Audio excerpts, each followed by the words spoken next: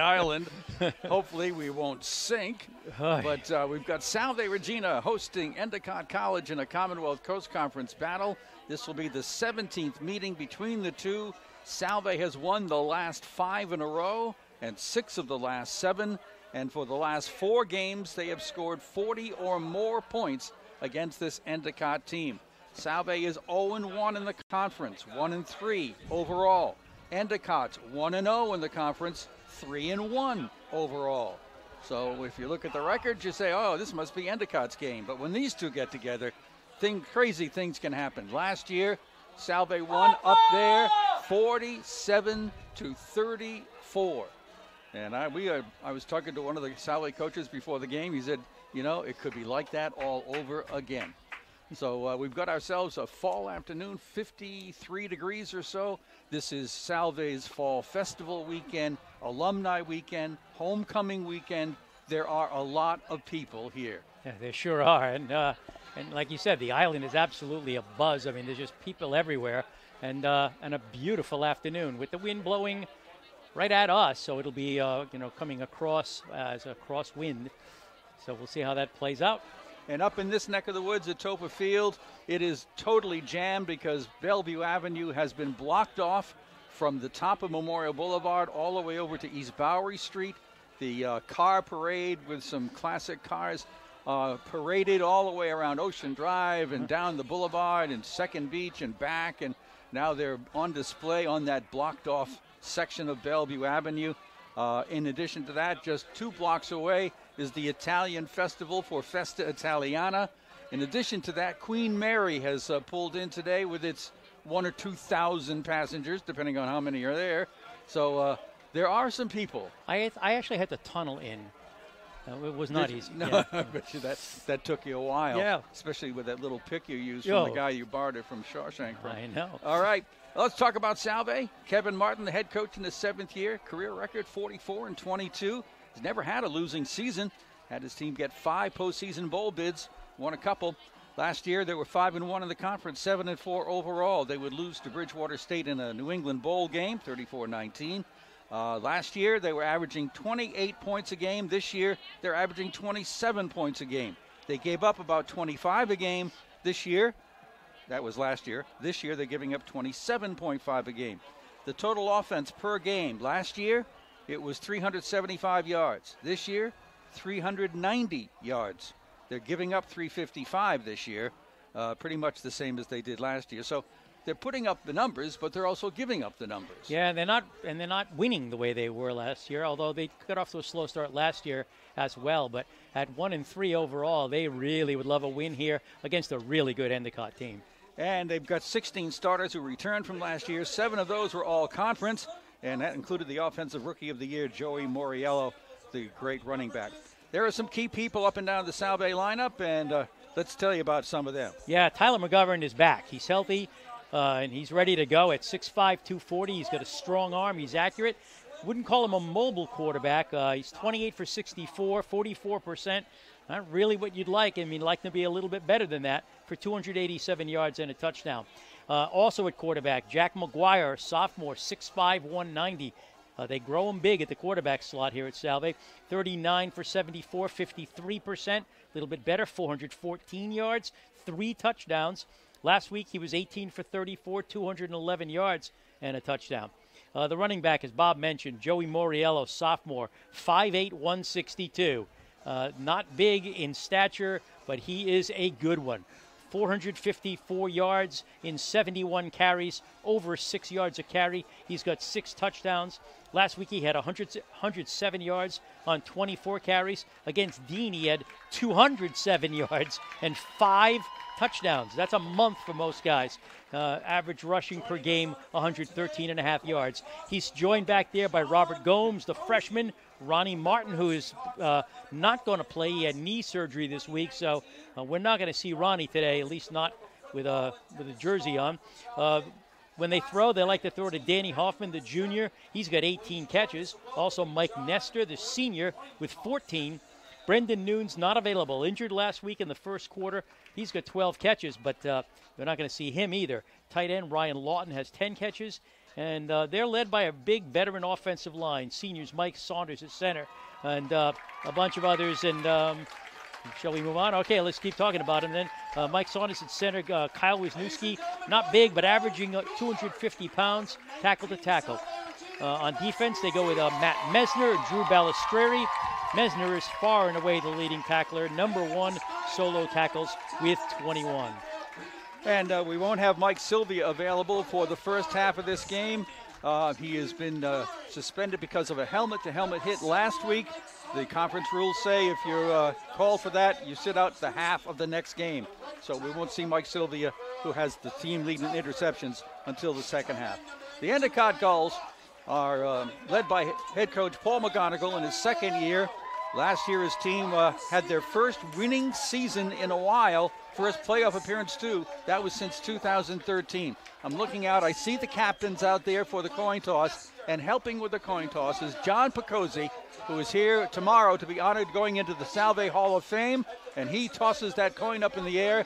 And let's see, looks like Salve's won the toss, and we'll see how they declare here at midfield. They are deferring. Salve will play defense to start this game. All right, so let's see. Last year, Endicott five and one in the conference, seven and four overall. So far this year, a win over Framingham State, 55-27. A win over Rochester, 28 to three. A loss to Wesley, 20 to 17. Last week, 58 to 12 over Becker with 453 yards of offense. The total offense per game for Endicott, 373, almost the same as Salve. They give up about 365 yards. They rush for about 144 a game. They love to pass, averaging about 230 yards a game. This is a primarily passing team. We'll see if they maintain that uh, that tradition this afternoon. Their quarterback is Joe Kolaski. In two games, he's thrown 75% completions, 44 58 wow. for 653 yards. 326 per game. He has eight touchdowns, only one interception. He's had some big games, including 374 yards and five touchdown passes against Framingham State. Let's take a uh, 60 second timeout right here. We'll be right back. Corrigan Financial believes everyone needs a financial plan, but perhaps it's one of life's big decisions that you. Are you soon to be concerned with paying for a college education? I'm need to provide help for aging parents. And what about you and your eventual retirement? For decision making processes like these, that's where Corrigan Financial comes in. Every new client starts with a financial plan. Uh-oh.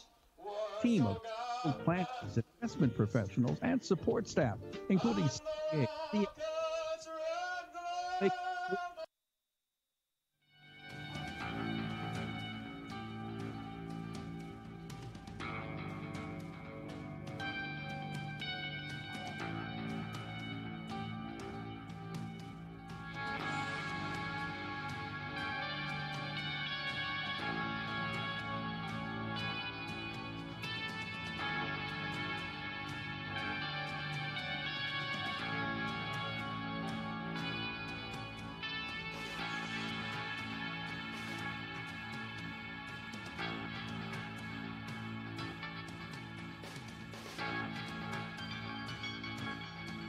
getting ready for the start of the game. A couple of key players here for Endicott. Running back John Kenny, about 85 yards a game. He is their primary and almost only runner to focus on. Talented wide receivers in Anthony Bracamonte, Justin McEwen, Shay McManaway, and tight end Riley Shanley, along with Zach Denike.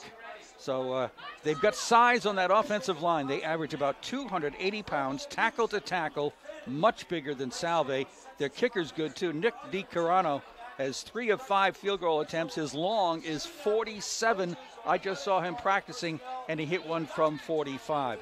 So that's a threat as well. Well, I'll tell you, it's a gamble when you give the ball to Endicott to start the game. Their offense is high powered, but if Salve can get a stop, you know, hold them to no points on this first drive, they could kind of gain a quick advantage. Let's see if that can happen. Anthony DeSanto will kick it off for the Seahawks in their home blue jerseys and blue helmets with silver pants. All white, the road uniforms for Endicott. The kickoff from DeSanto is a line drive kick fairly deep and taken on the 10 yard line.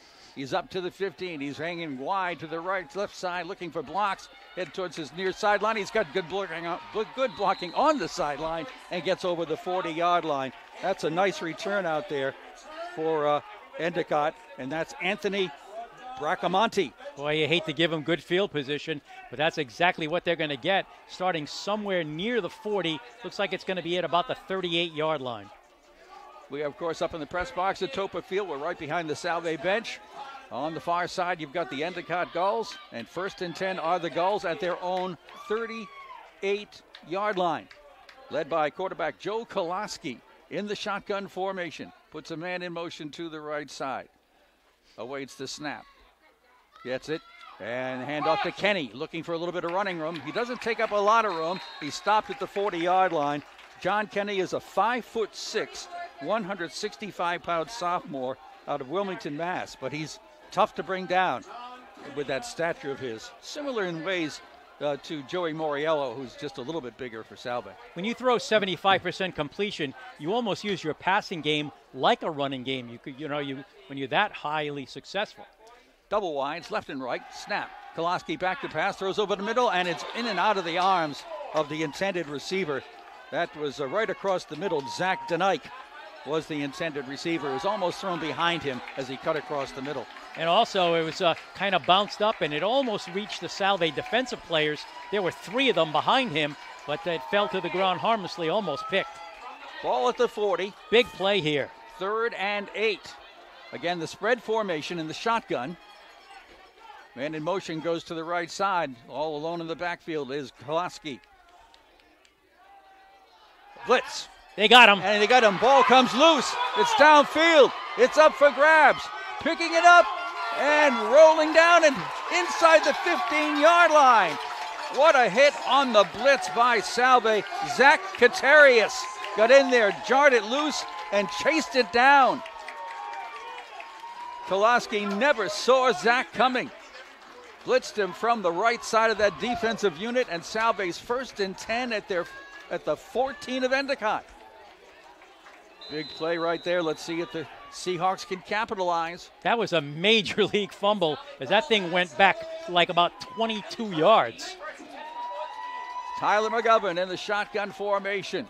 Double wides left and right. Moriello in the backfield. Pass goes on the right side. It's caught on the 10 and falling forward to about the 9 is the receiver. That looks like Nestor, and it is Mike Nestor on the receiving end.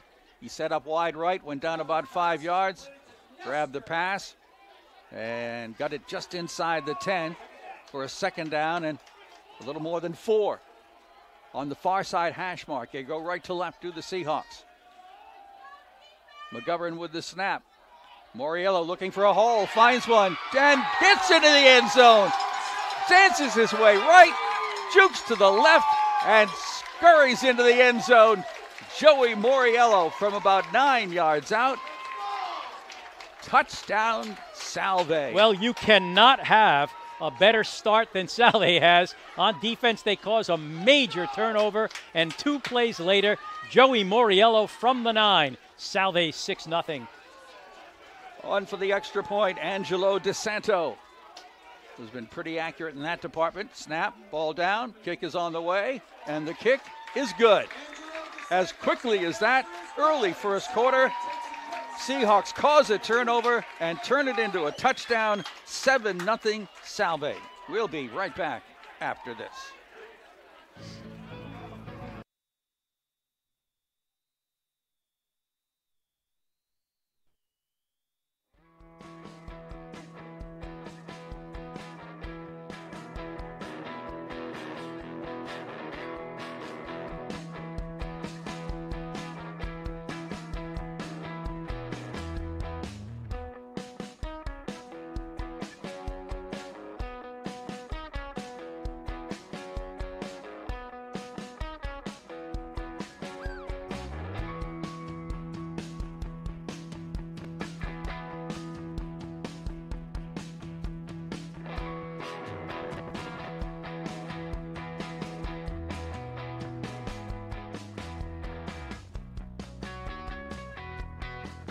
Moriello with the touchdown.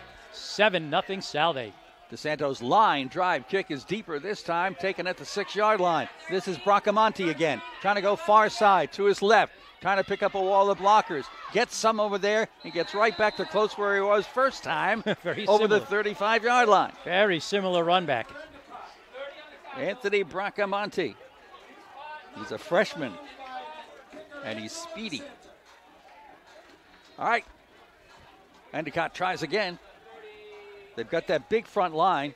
Endicott center is Andrew Tadino. He goes 6 feet 285. The guards, Isaiah Gibbs, 6'3, 285. Matt Hughes, 6'3, 280. Boy, this really does look like the first drive. Right at the same spot. From just inside the 39. Back to pass. Kolaski looking. He's got time. Drops it down and it falls incomplete. That was about his third option, I think, on the play, and he missed the mark. Well, I'll tell you one thing. Salve is ready for this passing game. They're getting pressure on the quarterback, and the receivers appear to be covered. Salve showing them right now a three man front. They normally operate with four. Now they show, nope, still a three man front on second down and 10. Kenny is the halfback alongside the quarterback in the shotgun. The pass goes on the far side. It is caught and pushed out of bounds right away is Shea McManaway. It'll pick up about half of the 10 yards as they mark the forward progress to the 30, excuse- yeah, the 38 yard line. Oh, guess the original line of scrimmage was the 33. I guess so. So it's third and five. Endicott looking for its first first down, finding themselves trailing early. 7 0. Trips to the right side. Single wide left. Shotgun formation. Here comes the blitz again by Salve, and this time they jumped and into the neutral zone they went. And that five yards would likely result in a first down or be very close. Looks like it's going to be just a tad short if, it, if the chains are right.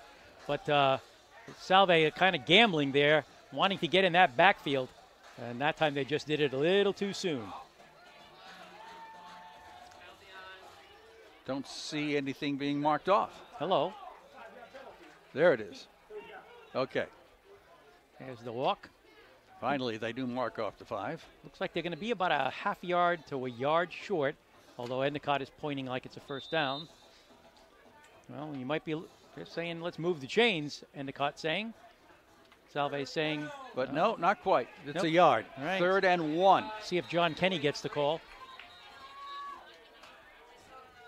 Now a little timeout called over here by the head linesman is who is uh, Pat Rahilly. The referee is Craig McDonald. Trying to check the chains. Ken Bidlack and crew over there. And now they say it is a first down. Wow. Huh, okay. Little indecision there. Kevin Gilmartin is questioning the head linesman over here. But it's going to be first and 10 goals after the offside by Salve. Line of scrimmage now, the 43 yard line of Endicott. Ty O'Loughlin starting in the secondary right now, the Middletown High School grad for Salve. Kolaski's going to throw over the middle, and it will be caught. Riley Shanley picks it off and falls forward to about the 49 yard line as they are doing the short pass routes right here, about five yards down and slanting across. really, it's like it's like their running game. No huddle, right to the line of scrimmage for the Gulls, going left to right in the all white uniforms. Kolaski in the shotgun puts trips to the right. Man in motion goes left, misdirection, goes right up the middle, picks up the first down and more for John Kenny. Gets just over the Salve 40 yard line. Nice bit of misdirection there by the Gulls. Down to the 40 yard line of Salve. And boy, are they moving quickly now. Quick pass over on the far side as Bracamonte, and he breaks one tackle, falls forward to about the 35 in the hurry up style of the Gulls, trying to catch that Salve defense off guard. Forward progress just outside the 35. It'll be second down, call it five for the Gulls. Trying to get back after falling behind early 7 0. We're still early in the opening quarter. Trips to the right.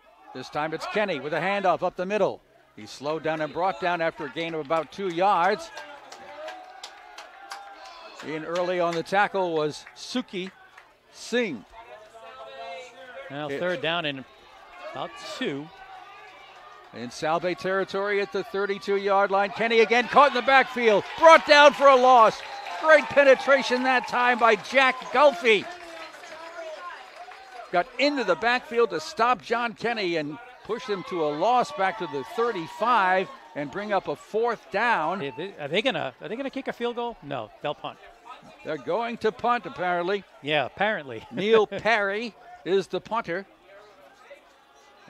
So Salve will be inside their own 10 waiting for this punt if indeed it happens. They'll look out for a fake here. Inside the 35 yard line. Long snap count. See if they can get him to jump. That's what they're trying to do. Low snap, but it's there, and so's the punt. It gets away. That's a good one. And this will hit on the far side and go into the end zone for a touchback. I thought it was going to angle out of bounds, but it went to the end zone. So Salve's defense holds pretty deep in their own territory. They get it back. They're ahead 7 0, and the offense goes to work again. Tyler McGovern and crew to take over. Tyler's center is one of the captains, Mike Saunders.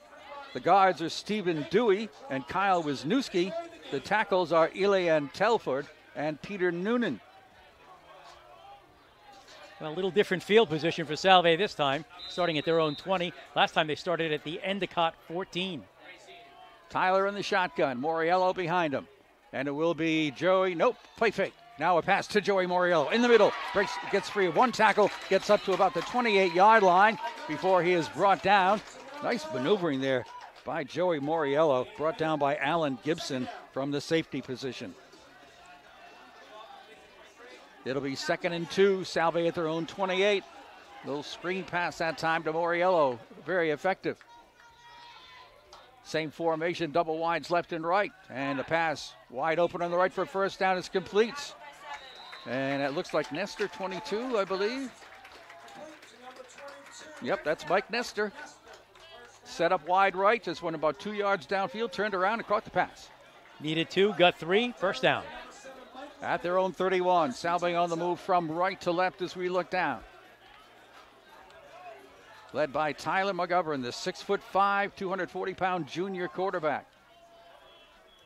Puts double wides or in the slot formation on the right side, single wing over here on the left.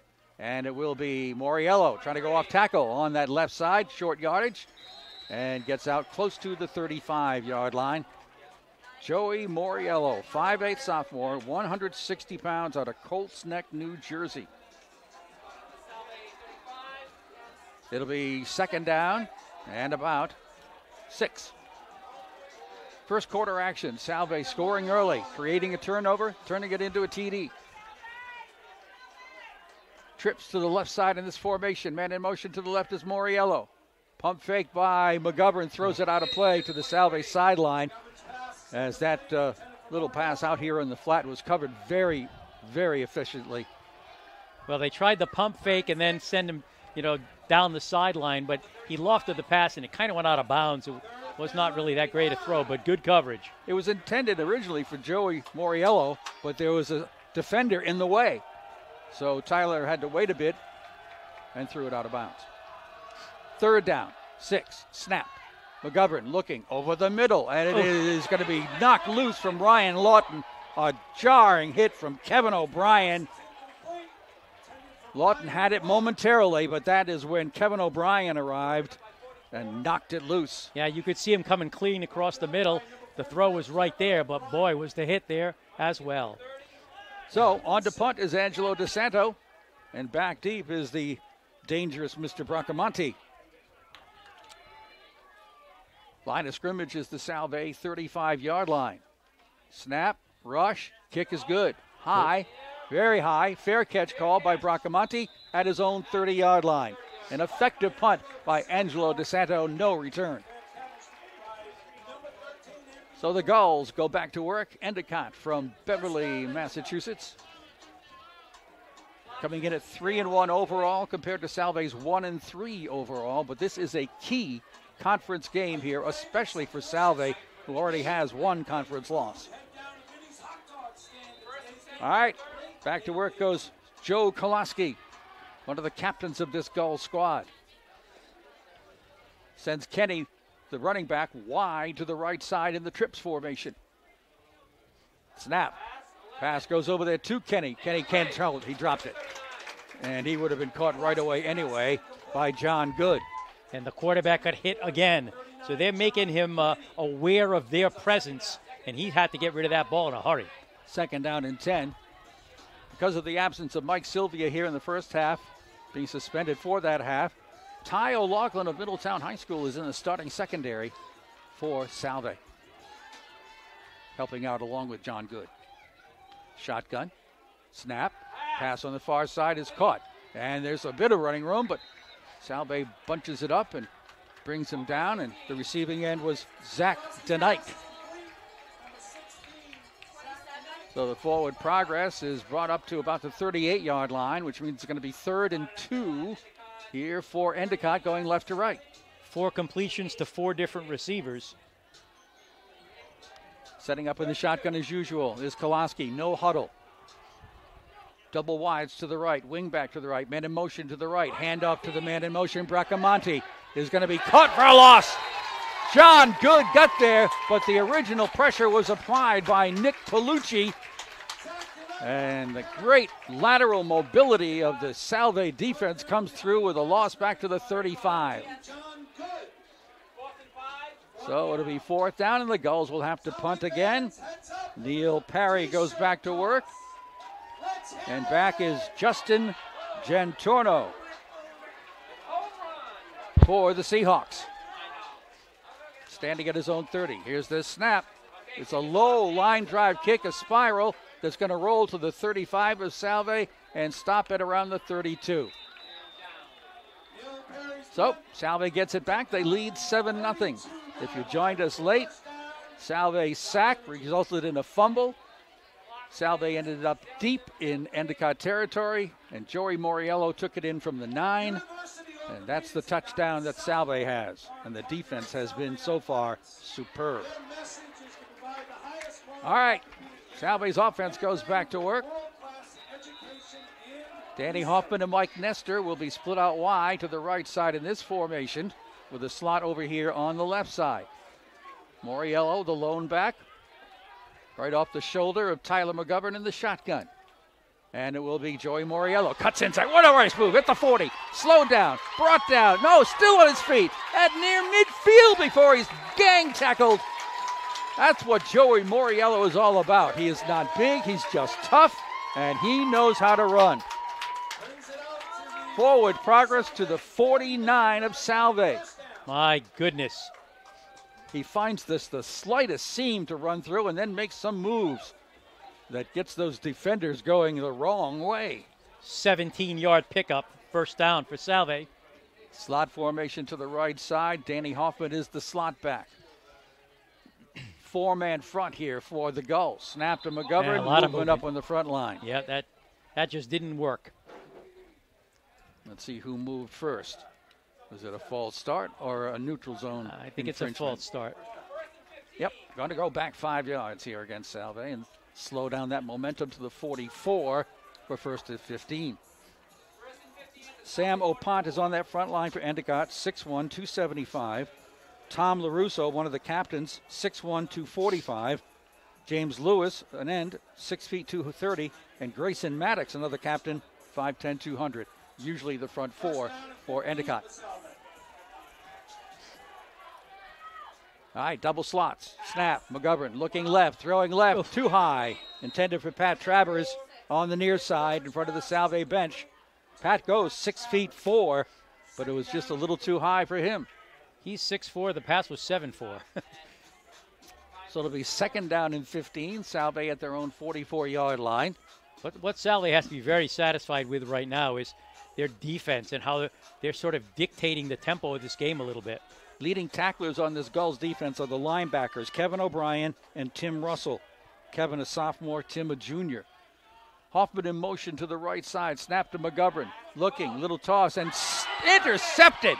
Thrown right to the Endicott Gulls. Right there to pick it off is Hakeem Fleming, I believe. Number 27. Yep, that's Hakeem Fleming with the pick on the attempted screen pass. Oof. He looked like the intended receiver. Yeah, that that one is one you're going to have to go and try to explain to somebody because that was that was as ugly as it gets. So now it's Endicott first and 10 at the Salve 31 yard line. Salve commits a big turnover. Let's see if the Gulls can capitalize like the Seahawks did. Trips split out wide to the left side. Kolaski exclusively from the shotgun formation has Anthony Whiteley next to him now in the backfield. Snap, drop, throw, sideline, and incomplete. A lot of contact between the intended receiver and the defender. On the defending side of that was Justin Jantorno. And he was battling the intended receiver on that play. And that would be Justin McEwen. And again, we just talked about how the, how well the Salve defense has played. Well, they've been dealt a bad hand right here as their uh, Endicott has it at the Salve 31. Let's see what they can do with this. All right, we have double wides to the left, wing back left, out of that shotgun formation. Kolaski gets the snap, play fake, back to pass, being pressured, and he's going down. Yeah. Wrapped up right away by Zach Katarius. And that's his second sack of the afternoon already for Zach, who comes out of Sandwich, Mass, a sophomore. And I'll tell you, give give the defensive coaches some credit. They saw that there were some soft spots in the middle, and they are just shooting people at this quarterback and he just does not have the time to do what he usually does. Five minutes left in the first quarter. Salve up 7 0. Third down, about 15 at the Salve 36 yard line. Trips to the left. Long snap count. There's the snap. Here's the throw over on the far side. And tripped up is Bracamonte. He'll get back most of the five yards on that sack, but that's about it. It'll bring up fourth down and about 11 and let's see if the Gulls will punt again from this position of the field. Nope, they're going to give their field goal kicker, Nick DiCarano, a chance. They're going to put it down at the 39 yard line. It's a 49 yard attempt, and that is his longest. I beg, beg your pardon, 47 is his longest. So this is, is an attempt for two more yards. Well, here we go. Snap, kick. It's not going to make it. It's going to be short by about five or eight yards. No good on that field goal attempt. Salve will get the ball back, and the defense comes through again. 7 0 Salve, 412 left first quarter. Well, I'll tell you, this defense has come to play. They have they have played so well, really, all afternoon. And it's early, obviously, only still the first quarter, but boy, they've played well. They'll take over, not will the offense, though, at the 32 yard line. And Tyler McGovern was just given a get out of jail free card uh, after that bad interception. He gets to come back right out. First and 10, Salve still going right to left in this opening quarter. Sun drenched afternoon with a slight breeze across the field. Moriello gets the handoff, wants to go wide, breaks one tackle, spinning, turning, gets back to the line of scrimmage, and picks up maybe a yard after that as he is finally brought down by several of the Gulls. That's the most impressive two yard gain you're ever going to see. Grayson Maddox was among those who finally brought him down. But Joey got one, second and nine.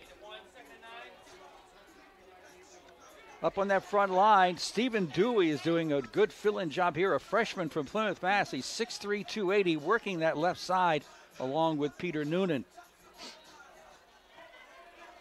Tyler McGovern, big, tall junior quarterback, takes the snap and is going to give it to Joey, who's stopped in the backfield. Great penetration that time by Tim Russell, the leading tackler on this team from his linebacking position.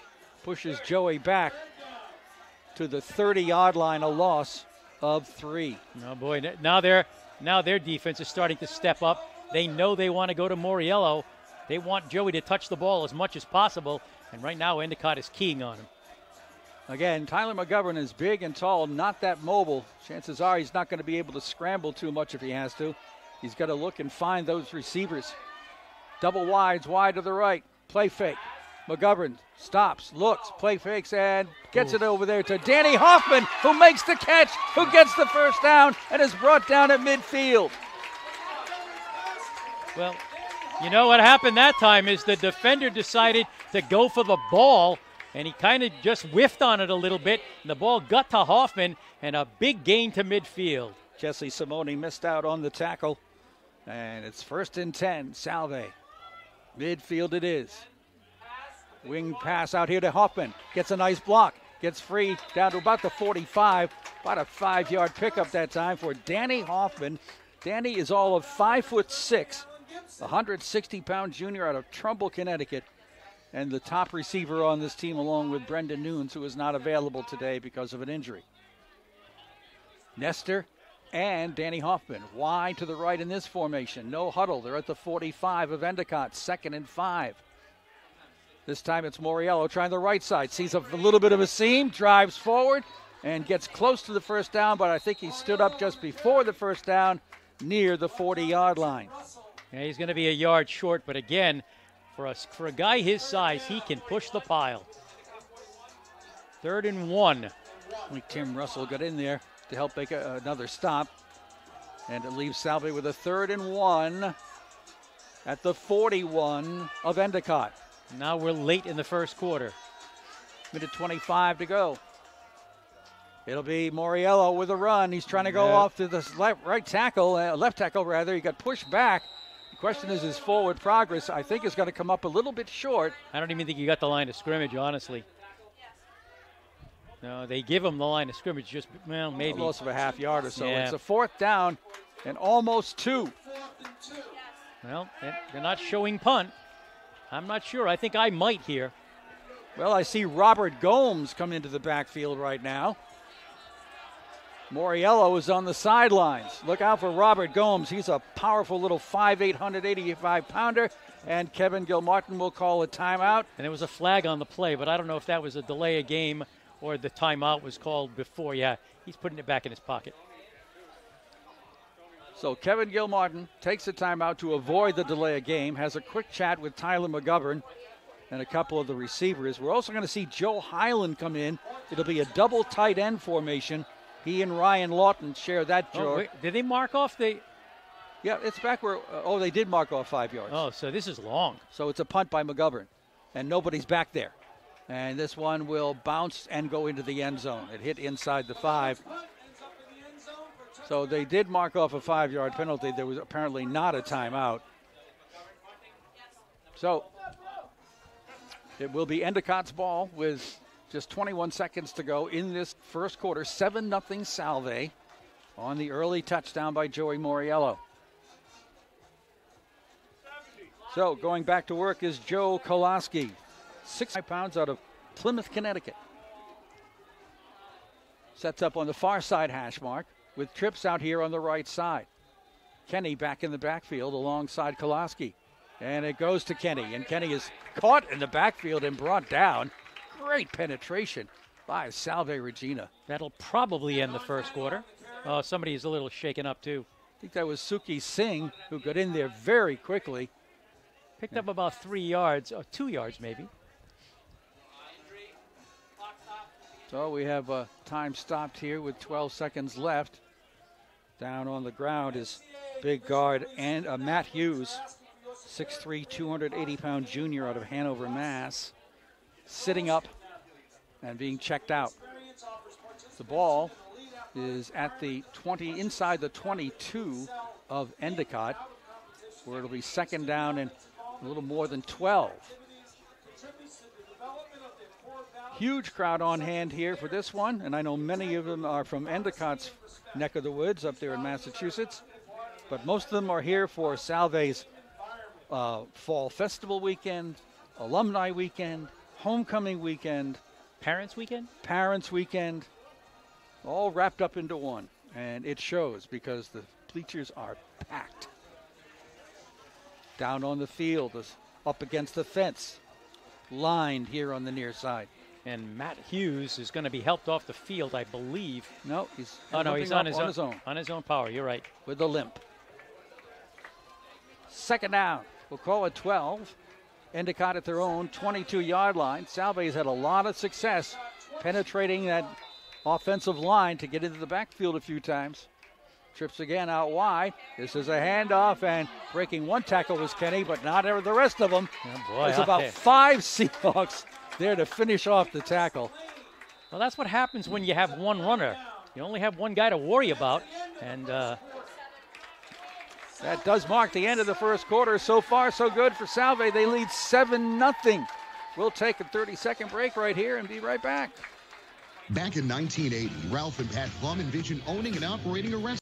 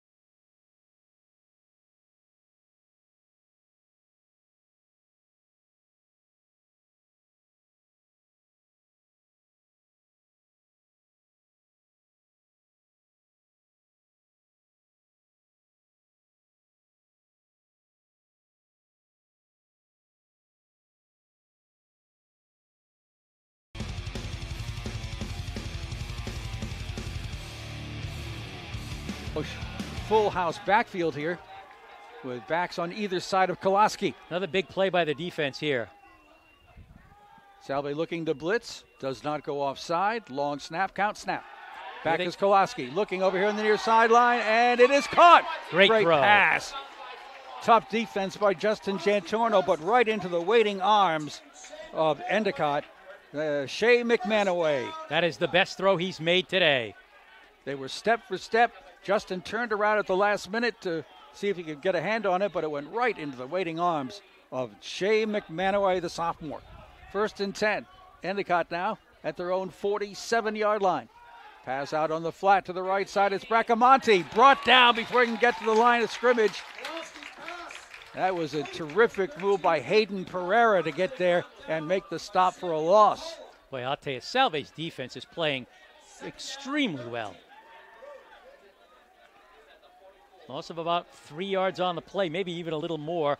Second and 13. Just inside the Endicott 44 yard line. They go right to left now as we look down. Salve up 7 0 early second quarter. Kolaski makes the quick pass in the flat to Bracamonte again. Breaks one tackle, breaks two tackles, and is brought down just over the 45 yard line. And in there to make the terrific stop was uh, John Good, I believe, got there first. I'll tell you something. Salve's defense is playing with a purpose, too. I mean, they are hitting people. Short gain to the 46. First down markers in Salve territory at the 43. The ball at the 46 of Endicott. Third and 11. Trips to the right. Single wide left. Kenny in the single set backfield. Kolaski with the long snap count again. Finally gets it. Straight drop. Short drop. Throwing. Over on the wing. There he is again. Complete pass inside the Salve 35 yard line to Shea McManaway.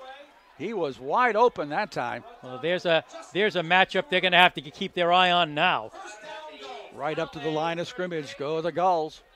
Snap. Handoff. Kenny looking for some room. Goes up the middle for about five yards before he is brought down.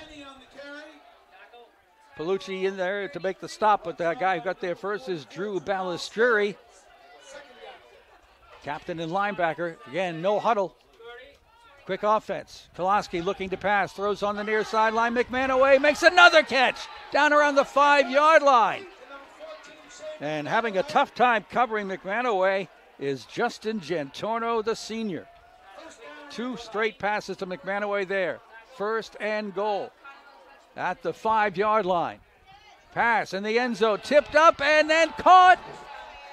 Touchdown, penalty flag. Well, touchdown and a penalty flag. Let's see which way this goes. It was deflected by the Salve defender in the air and it was caught. I don't know by who. It's a defensive holding call against Salve. The touchdown stands. Who caught that pass? Who caught it? Thank, you. McManaway. Of course. so this time it was Kolaski to Shea McManaway three times. Third time for the touchdown. On for the extra point, Nick De, DiCarano. And Nick puts it up, and it is good. So the Endicott Gulls are back early in the second quarter, marching right downfield very effectively, especially behind the arm of Joe Kolaski and the hands of Shea McManaway. We'll take a 30 second timeout. Be right back with you. Newport Propane and the Sherman family have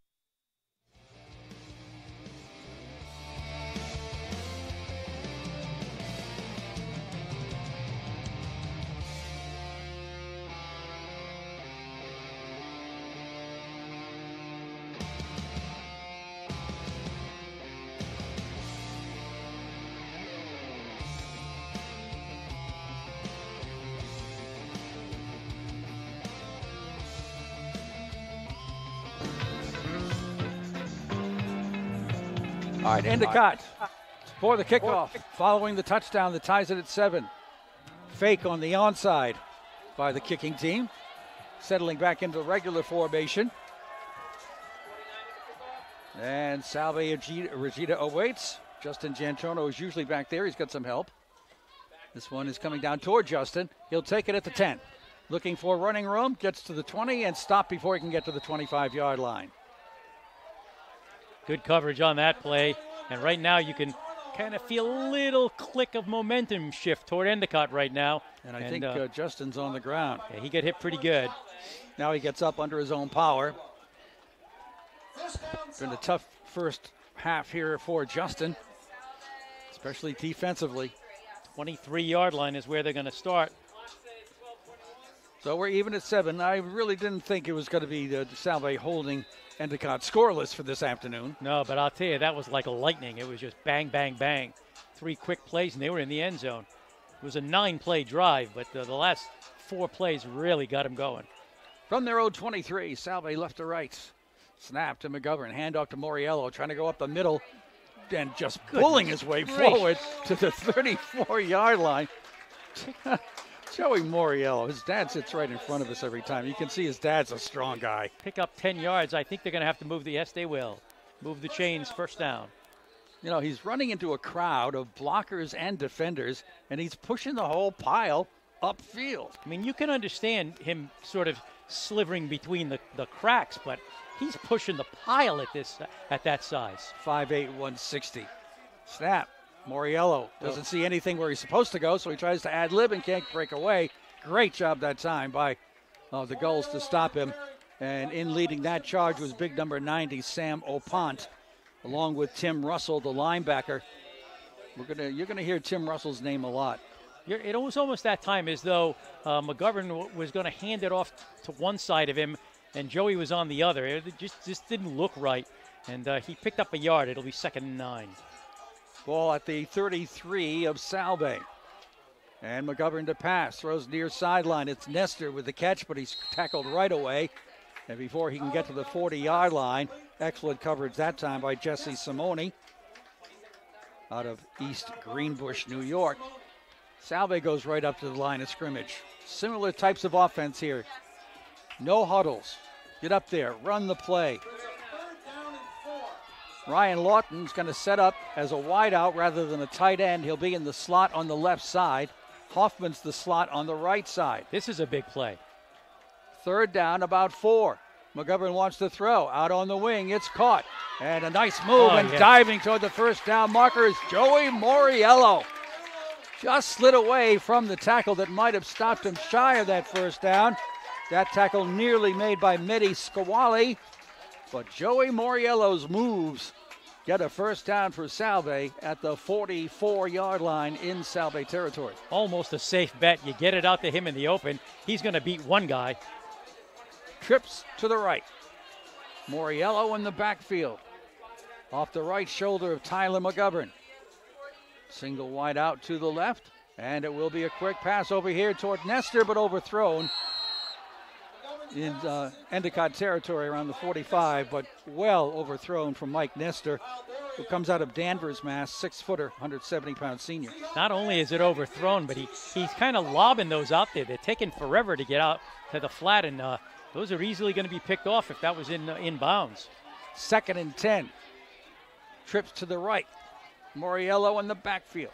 And it will be a handoff to Joey, trying to find blocking on the left side. Finds some. Turns the corner and gets pushed down a play in front of the Endicott bench, but not before he got a first down at the 45 of Endicott. I tell you, before this young man graduates, he's gonna he's gonna turn a lot of record books around. Uh, he is really special. Helping lead the blocking over on that left side was Pete Noonan, the 6'1", 250 pound junior out of Ardmore, Pennsylvania.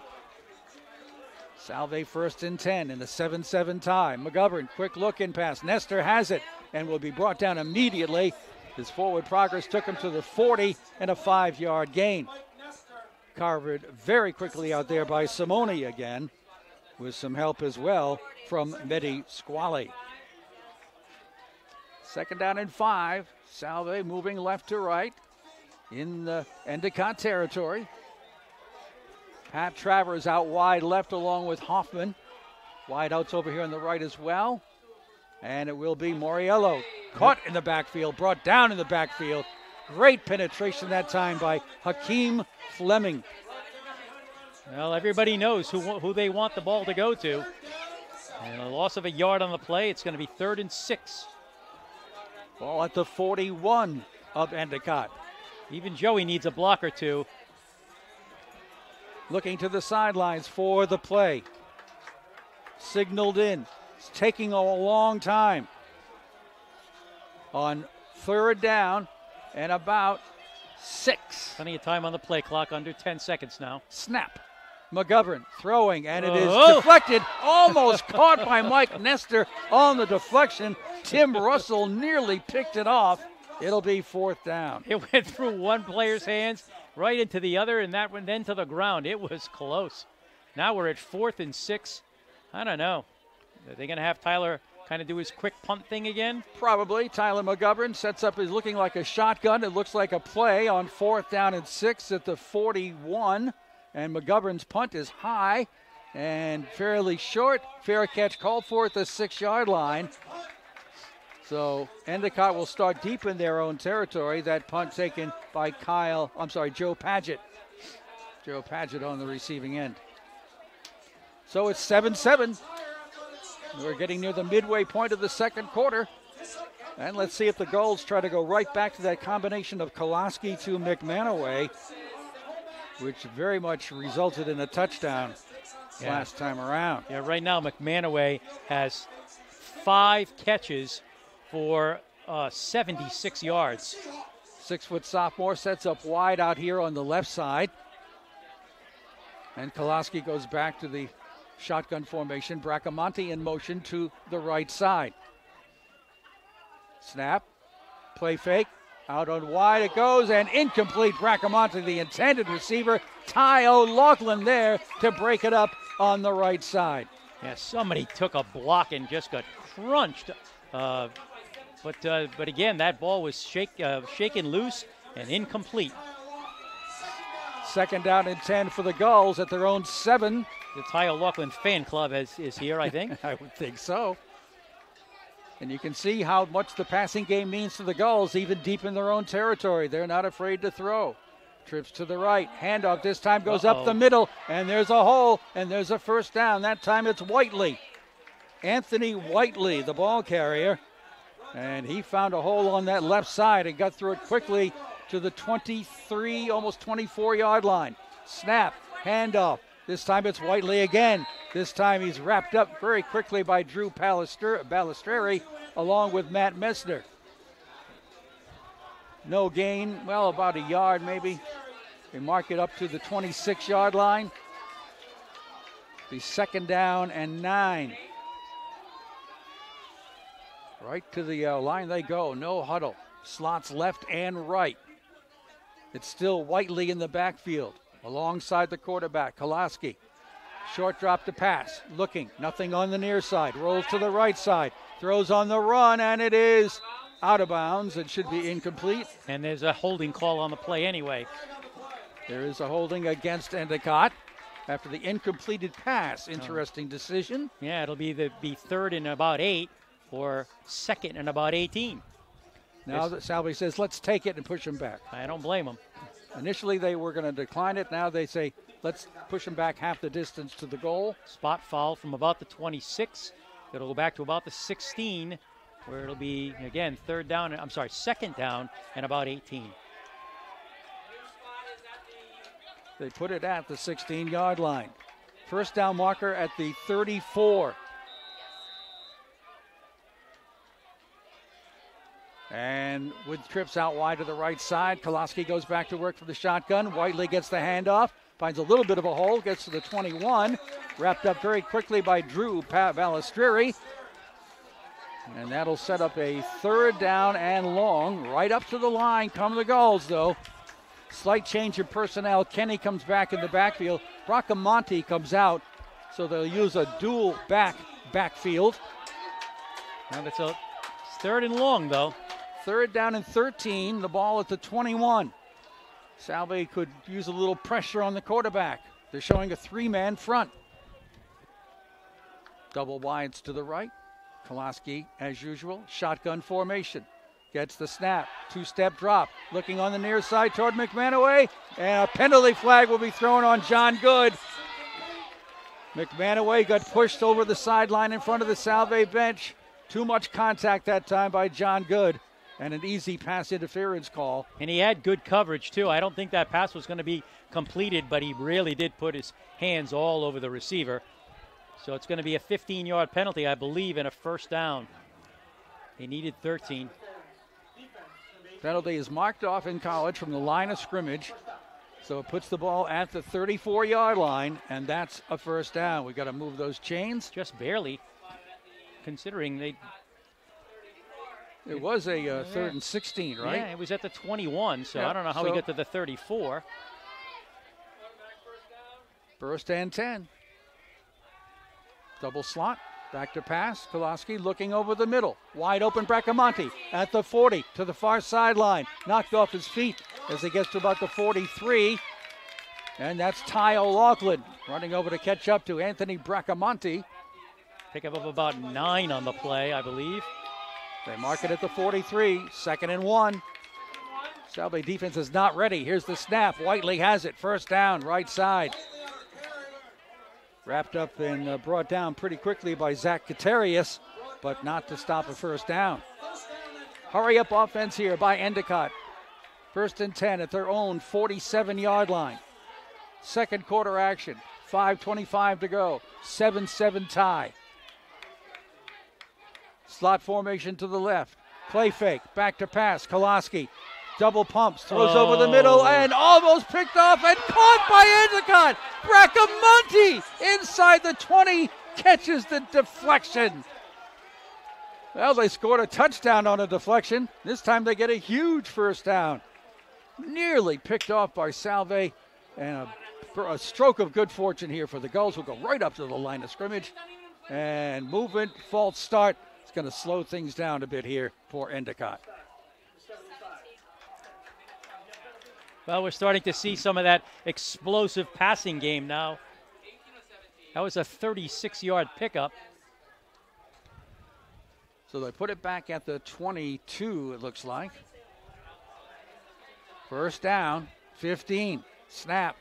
Quick toss to Bracamonte, left wing. Knocked off his feet very effectively by John Good, I believe. Yep, John got there at the 25 yard line for a loss on the play.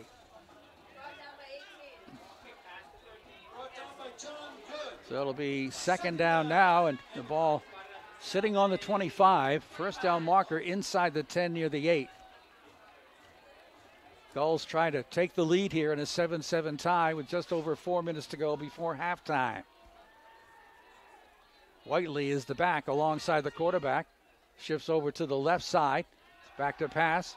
Kolaski looking for time, throws over the middle. There's Bracamonte again, trying to find some open room. Gets away from one tackler, gets stopped at the 20 yard line. Man who slowed him down to uh, kind of bust up the play was Salve's Justin Jantorno. Them to five, the 20. Five yards to the 20. Third down and about 13.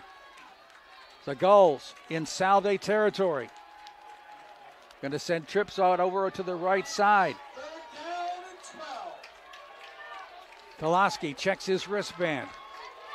He's got Whiteley, Anthony Whiteley, on his left side. Trips wide to the right. And it will be Kolaski pitching. Whiteley has it and is going to be dragged down. Great job that time by Zach Katarius. Terrific penetration by the sophomore from Sandwich, Mass. I think we'll see a field goal now. That gets them to about the 17. Pickup of three on the run. We're going to look at a field goal, I'm pretty sure. Nick DiCarano is on to attempt his second field goal. He tried a 49 yarder that came up short. It'll be 34 this time. He set up right at the 24. DiCarano has the ball down, and the ball is on the way, and it is good just inside the left upright. Close but good. So Endicott takes the lead 10 to 7 with 3.03 to go in the half. We'll take a 30 second break right here.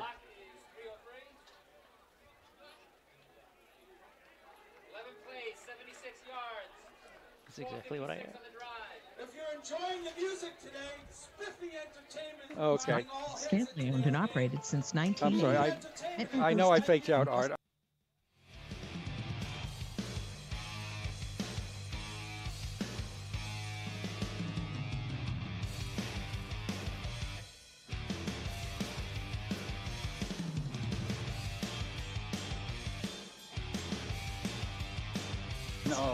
Information about community partners, stop by Clements Courtesy Desk.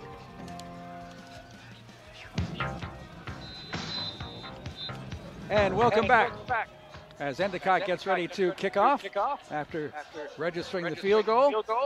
Well, with three minutes to go in the half, Salve has that uh, option, uh, that opportunity, I should say, of hopefully trying to get a score before halftime and then getting the ball back for the second half. Of course, they get three minutes and a long way to go.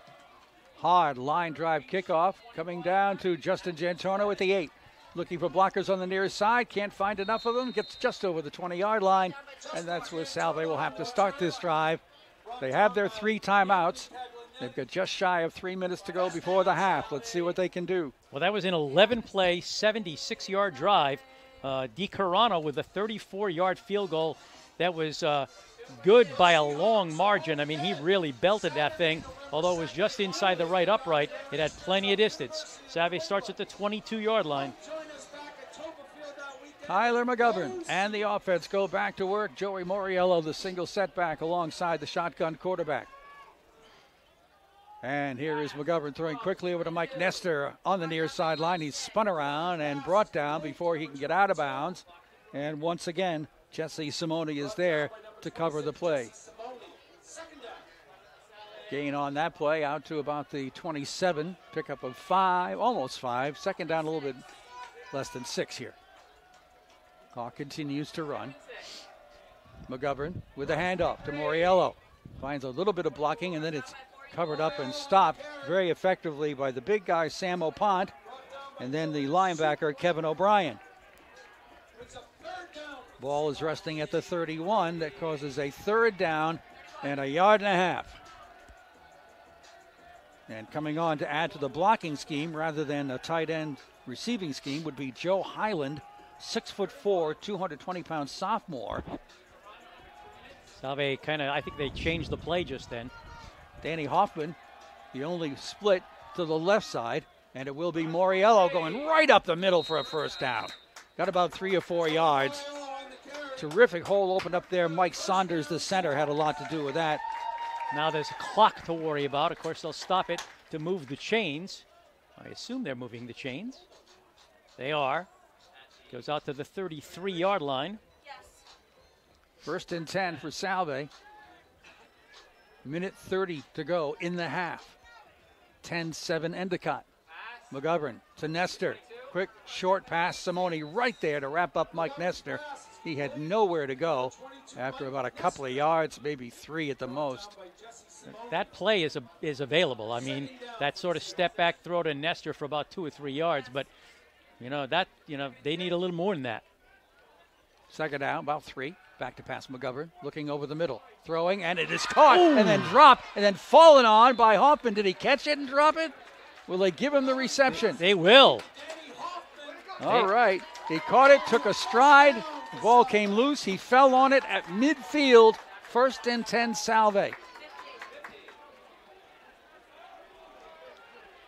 Shotgun formation, slots left and right. McGovern, short drop, looking around. Now out of the pocket on the run, throws near far side, and it is caught. And that is going to be caught by Max DeVito. They need a timeout. And Salve calls a timeout after a gain of about eight yards. Nice that time scramble by Tyler McGovern. Got out of that pocket, rolled out to his left, and found Max DeVito in the flat left side. So it is a 10 7 Endicott lead with 40 seconds to go in this first half. If you want to call this a must win for Salve, I would not argue that. Uh, they really, really need this one. Uh, they if they go 0 2 in the conference, um, that's going to be a tall, tall, uh, you know, task ahead, and uh, they they really need this one. And Endicott's darn good. And coming up next week for Salve is a bye week, and when they come back from the bye week, they have to take on the favorite to win the conference on the road, Western New England. Yeah, that, that they're just a perennial powerhouse. All right, they're going to try to get this ball farther down the field, maybe 15, 20 yards. At the 42 in Endicott territory. Long look from McGovern. Now he's rolling. Now he throws and it's dropped. He threw it behind Mike Nestor, who almost made the catch anyway. It would have been a first down, but it falls incomplete. It's third down. Yeah. Well, now the key is get the first down. 33.6 seconds left to go. So getting a score before halftime is not looking easy for sure. Well, if I'm Endicott defensively, I want to know where Joey Moriello is. Yep. And right now he's going to set up in the backfield along with Tyler McGovern in the shotgun formation. We've got double slots left and right. Third and two. Back to pass McGovern. Looking, throwing short, and oh. it's incomplete. In and out of the hands of Danny Hoffman right at the first down yard to gain. He had Hoffman on the right and Moriello on the left. They were both wide open. 24 seconds left in the half. Will Salve go for it at the 42 of Endicott on fourth and two? I think they will, but uh, boy, they better get it because Endicott is a much more of a big play team than Salve generally. The play is signaled in from the sidelines. They're going to go for it on fourth and two, it appears. I don't think it'll be a punt this time. McGovern from the shotgun. Hands it off to Moriello, goes wide, picks up the first down and more. 30 yard line. Moriello 20, Moriello 10, Moriello spins into the end zone. Touchdown, Salve! Oh my goodness. What a great run by Joey Moriello, designed to go off tackle. He took it wide and just spun away from two or three potential tacklers along the far sideline to get into the end zone. His second touchdown of the game. Extra point attempt coming from Angelo DeSanto. DeVito the holder. Snap, kick, long enough, good enough. Salve, 14. Endicott 10, 18 seconds left in the half. Let's take a 60 second timeout right here. Unmistakably the ideal choice for all your dining, social.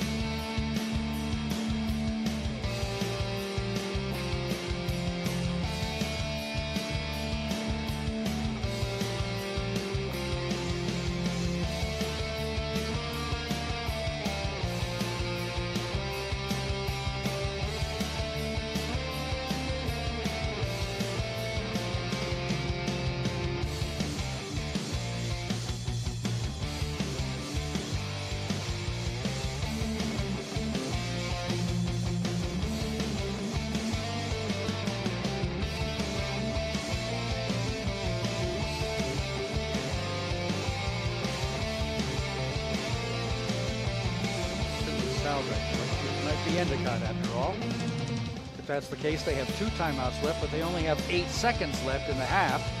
Salve leads 14 to 10. First and 10. I could see Kolaski throwing two passes if they were quick, or one and then a kick. Yeah, that sounds. Both of those sound possible. So Salve has bookended this first half with touchdowns. And both times it was Joey Moriello on the first drive and on the last drive of the half for Salve. And uh, Salve is playing a absolute center field kind of a defense. They're just trying to keep everything in front of them. Four back deep. Quick pass comes up close, and it is caught by Shanley. Breaks one tackle, heads for the sideline, gets out of bounds. 1.8. 1.8 seconds left. Will they set it up? The ball, the gain is inside the 30 of Salve, which would be another close to 50 yard field goal attempt for Nick DiCarano. He came up short on his last one. The wind is a cross. Well, now the wind is 46. blowing into his face. 46. Okay, 46 yard field goal attempt into the wind. Here's the kick. It's not quite going to be long enough. It it's is. good. It just got over the uh, crossbar and just avoided that left upright. Nick DiCarano, a 46 yard field goal to make it a one point game. It is 14 to 13. Salve has the lead. We have reached halftime. We take a timeout right here. For Sean Napolitano and A1 Roofing, it's not just about right, roofing. A1 It's about. That's why all of A1's VD. work is A1 and warranted. A1 is a GAF Master Elite Roofer, a distinction held by less than 2% of roofing companies in the nation.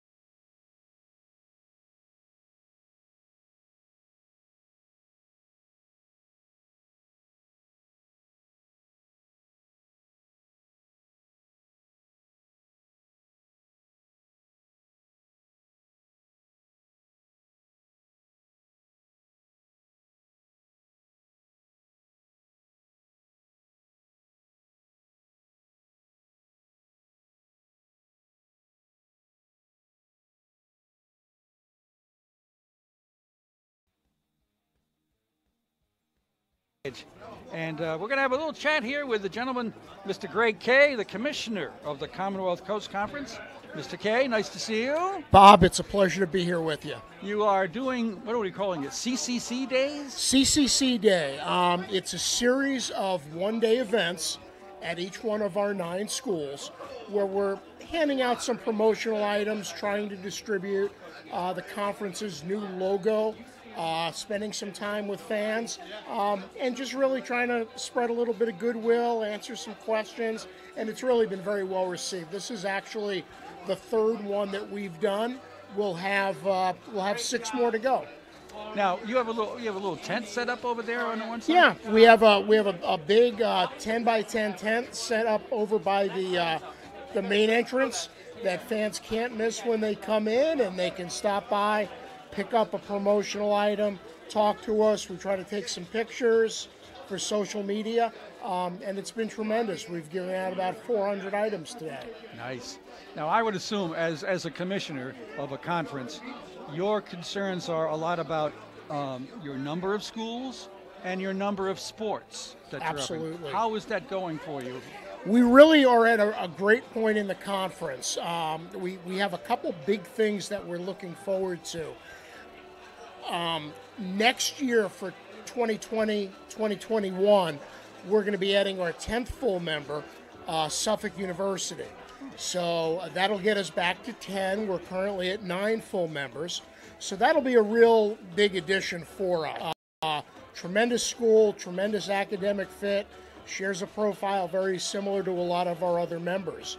Another big story that we just announced the other day is that we will be, in essence, adding women's ice hockey, which will become our 19th championship sport. Uh, the Colonial Hockey Conference is essentially going to be rebranded as CCC Women's Ice Hockey. Um, that conference, which Salve has been a part of, uh, along with three other CCC schools, uh, has been in existence since 2015. And due to some membership issues within that conference, a couple of New York schools whose multi sport conference is also adding women's ice hockey, that league was left with strictly CCC members. So, really, the time was right. Uh, what really helped us is that that league, while it is going to be down to just the uh, the four CCC schools plus Becker College, um, that league has two years to get back up to 7 mm-hmm. The addition of Suffolk and then also Western New England, which is a core CCC member, they'll be adding the sport next year as well, which will get it back to seven. So it'll be all CCC schools plus Becker, who will be on board with us as an associate member, as they are on the men's side, and also in football.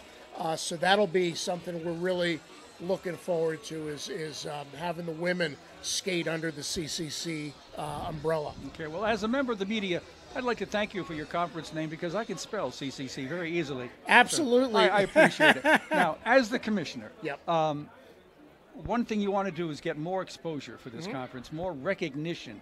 Um, are you satisfied with where you're at? Are you bound and determined to make it even more so? There's always more that you can do. I, I think the biggest change um, over the last couple of years, primarily the last few years, has been – the advent of a lot of digital networks that the individual schools are putting together. So, in essence, you don't necessarily have to rely on outside entities to broadcast your games and whatnot. It's events are always available, uh, just like this one today over the website uh, that Salve uh, puts together.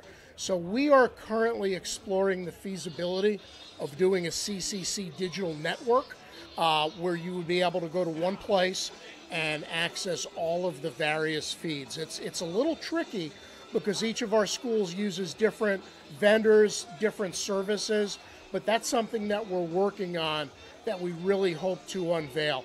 Social media has just been incredible. Uh, the amount of exposure that we get, the amount of interaction that we get when we do something like CCC Day or during our championship season when we get out uh, and try to uh, put some photos out there and, and, some brief videos. It's really amazing. So, those are things that 10, 15, 20 years ago you never could have imagined that it would be at that same level. So, that's really been a big focus for us is getting the conference name and the conference brand out via social media.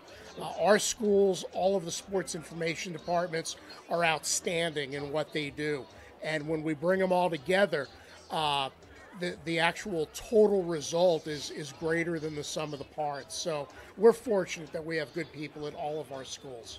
Well, we're happy to have you here this afternoon, Mr. Kay, and hopefully you'll uh, continue to do what I know is already a hard job, but a great job. Bob, thank you so much. Appreciate all you do for Salve and also for the CCC. My pleasure. Thank you. Thanks, Greg. Greg Kay, the commissioner of the Commonwealth Coast Conference. We're going to take a timeout. Come back with more at halftime. Salve 14, Endicott 13 on WADK and WADK.com. One of Newport's best dining options right okay, along Midtown, the Newport Insurance, and, and Salve. Okay, Newport Midtown, dining. Newport Insurance, Midtown Salve daily from 11 a.m. to 4 p.m. Thanks. Sunday through Thursday, Midtown offers a fantastic array of dinner entrees from 4 oh, until yeah. 9:30. Yeah. Friday oh, and Saturday the night. They upgraded the field. Uh, and be sure to check out the Sunday brunch from 11 to 3. Midtown Oyster Bar, 345 Thames. Phone 619-4100 or visit midtownoyster.com. Oh, of course. Yeah. Oh, my God. Do you actually Manual labor. Isn't one of the biggest expenses Good luck with you all have? that. Whether Thanks. for personal Thanks. or business protection, purchasing insurance can be a confusing and expensive proposition. The experienced staff at Newport Insurance will search the insurance marketplace for you and provide the best options available for your business or personal needs. Give them a call, stop by their office on East Main Road in Middletown, or visit their website. Newport Insurance would welcome the opportunity to work with you. As a community-based business, Newport Insurance has been and Hall will of Fame continue to be recognizing very here. supportive of youth programs and sports on Aquidneck Island. As part of that support, they are very proud to be a sponsor of You local Andy, high right? school and Salve Regina sporting events Oh, on just a bit? WADK, a broadcast tradition for more than 45 years. Newport Is he a Insurance wishes the best of Yeah. luck to all our local teams this His season. kids are going through right Newport now. He's got Insurance. twins Visit their through the high website at uh-huh. newportinsuranceagency.com. basketball. I forgot what they do in the fall. A new weekly video feature from Salve Regina Athletics titled And his daughter is Miss Rhode Island. will hit the internet is and up for media Miss every America. Wednesday. Very, very soon. Salve Regina University Athletic Facebook Molly. page. Subscribe to the Seahawks YouTube channel to follow each weekly episode, which offers glimpses of the teams during competition, practices, scrimmages, team meetings, and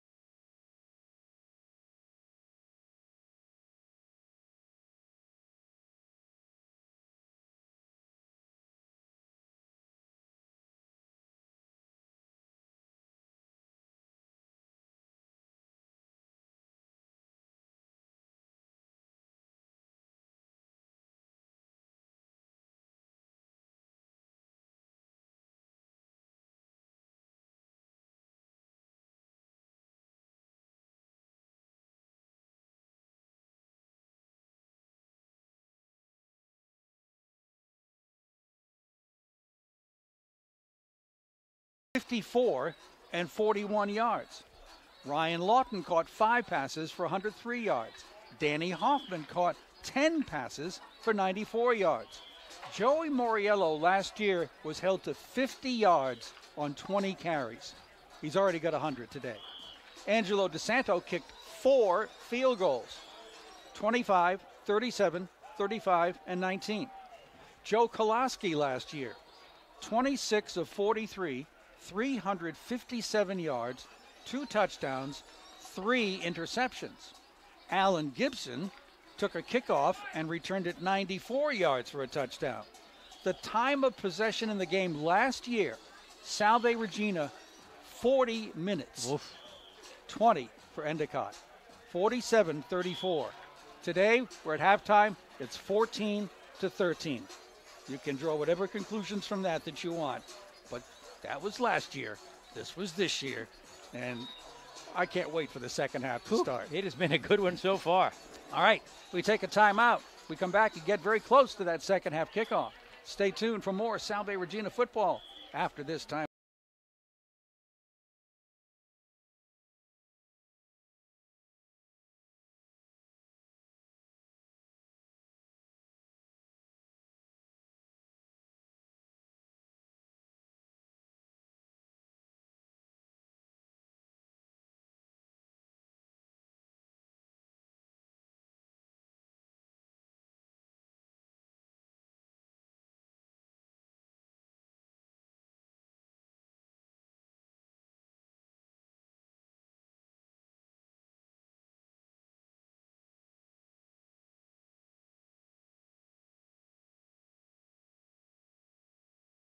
Comprehensive framework that offers direction,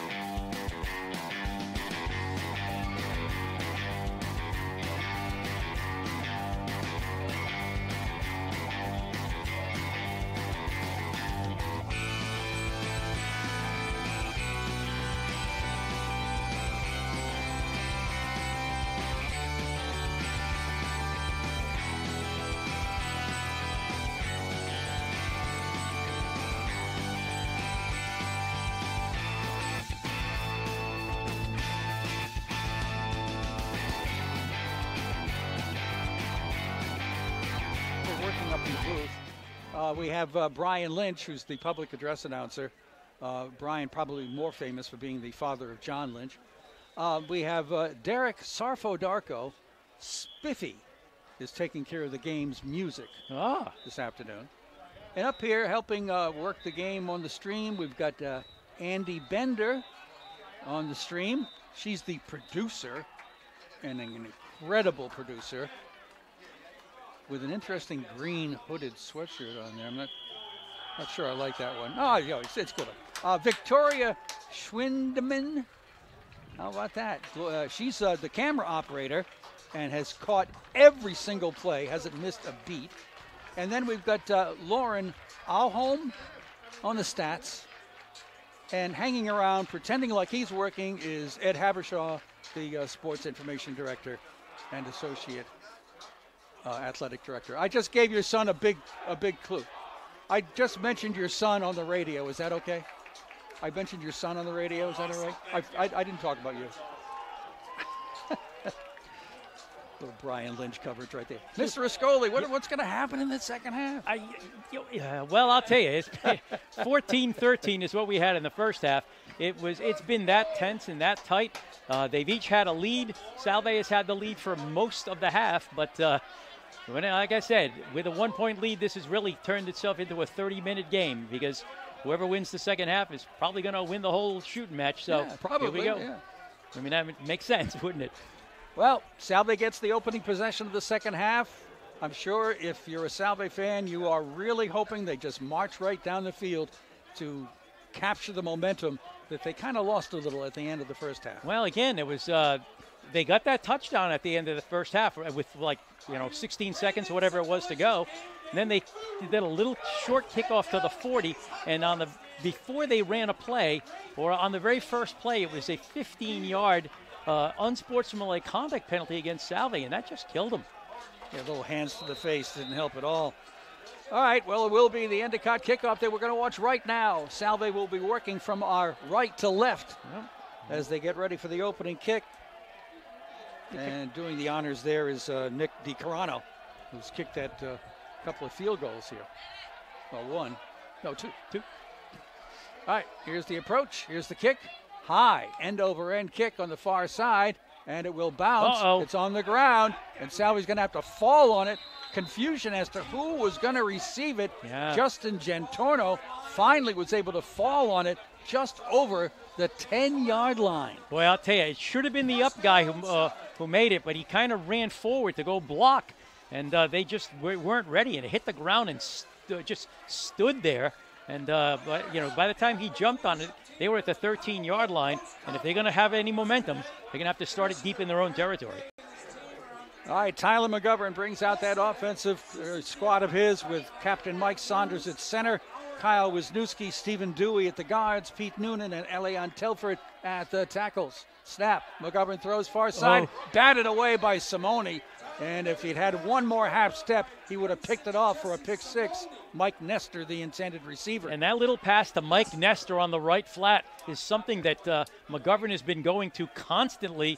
And uh, that time they jumped the route and almost picked it off. And Tyler doesn't really look to see if Nestor's open. He just drops back and throws it yeah, almost. And he kind of lobs it a little bit. All right, slots left and right. Second down 10 on Moriello trying to go off tackle on the right oh, side. Oh my goodness. Breaks some tackles again and gets out to about the 19 yard line. It looks like he's not going to get anywhere past the 15, and all of a sudden he's four yards farther upfield. He got six yards on that carry. Five of them were pretty much all him. It sets up, though, a third down and four on the opening drive of the second half for Salve. Again, the slots are left and right in this spread formation. Moriello goes in motion to the right. McGovern is going to be rushed. He's in the pocket. He's in trouble. He's sacked for the first time. And Sam Opont is the man who wraps him up. Once Tyler got pushed out of his original pocket, he started to panic a little, and he went down at the 17 yard line. Yeah, a sack and a loss of two, and uh, that is not what Salve was looking for. So back for the Gulls goes uh, the always dangerous Anthony Bracamonte. He's nearly to midfield, too, so he's not expecting this kick to go much farther. There is no wind at the moment.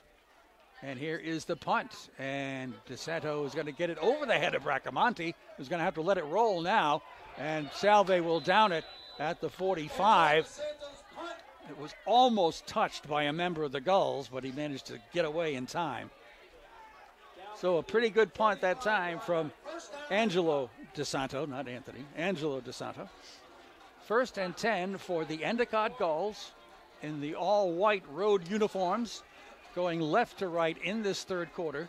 Salve leading 14 13. The ball is at the 45 of Endicott. And the always dangerous Joe Kolaski, senior captain quarterback, and that arm of his goes back to work. Man in motion to the right is Bracamonte.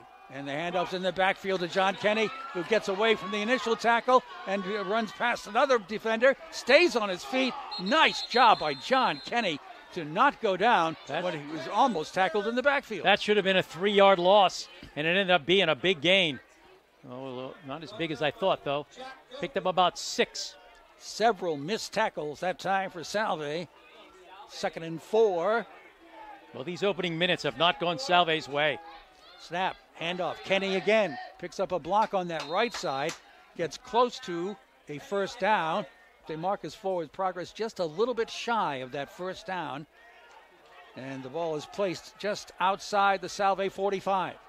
Third down, half a yard. No huddle. Spread formation. Shotgun formation. Kolaski. Snap. Wants to pass Throw is in the flat. Bracamonte, first down, pushed out of bounds in front of the Salve bench around the 37 yard line of Salve. First and 10. Well, picked up nine yards on a fourth and inches.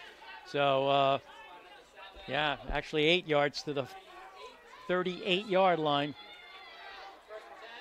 Drive here for the Gulls trying to take the lead. This is Kenny running right side. Not much of a hole. He just puts his head down and dives forward for about three yards to the 35 yard line as Matt Messner is in there early to help make the stop along with Suki Singh. Second down and seven for the Gulls. Right to left they go. Salve shows a four man front. Play fake. Pass over on the wide open on the wing. Caught there by Shanley. Shanley's down to about the 12 yard line. Tackle made out there in the secondary by Matt Sylvia, who's finally in the game after having to sit uh, for the first half. But I don't think that was the intentional or the first intended receiver, but Riley Shanley was wide open. Another pass to Shanley. No, it's McManaway. Touchdown. Shay McManaway just over the goal line in the left corner. Out jumps the defender, John Good. And quickly the Gulls march downfield and take the lead. So the uh, job of Shay McManaway is to simply be taller than the defender and make some catches. Extra point attempt now by DiCarano. Awaiting the snap. And it's down. And it's up. And it's good. So early second half, and the Gulls strike and take a 20 to 14 lead over Salve. A 30 second timeout right here. Newport Propane and the Sherman family have been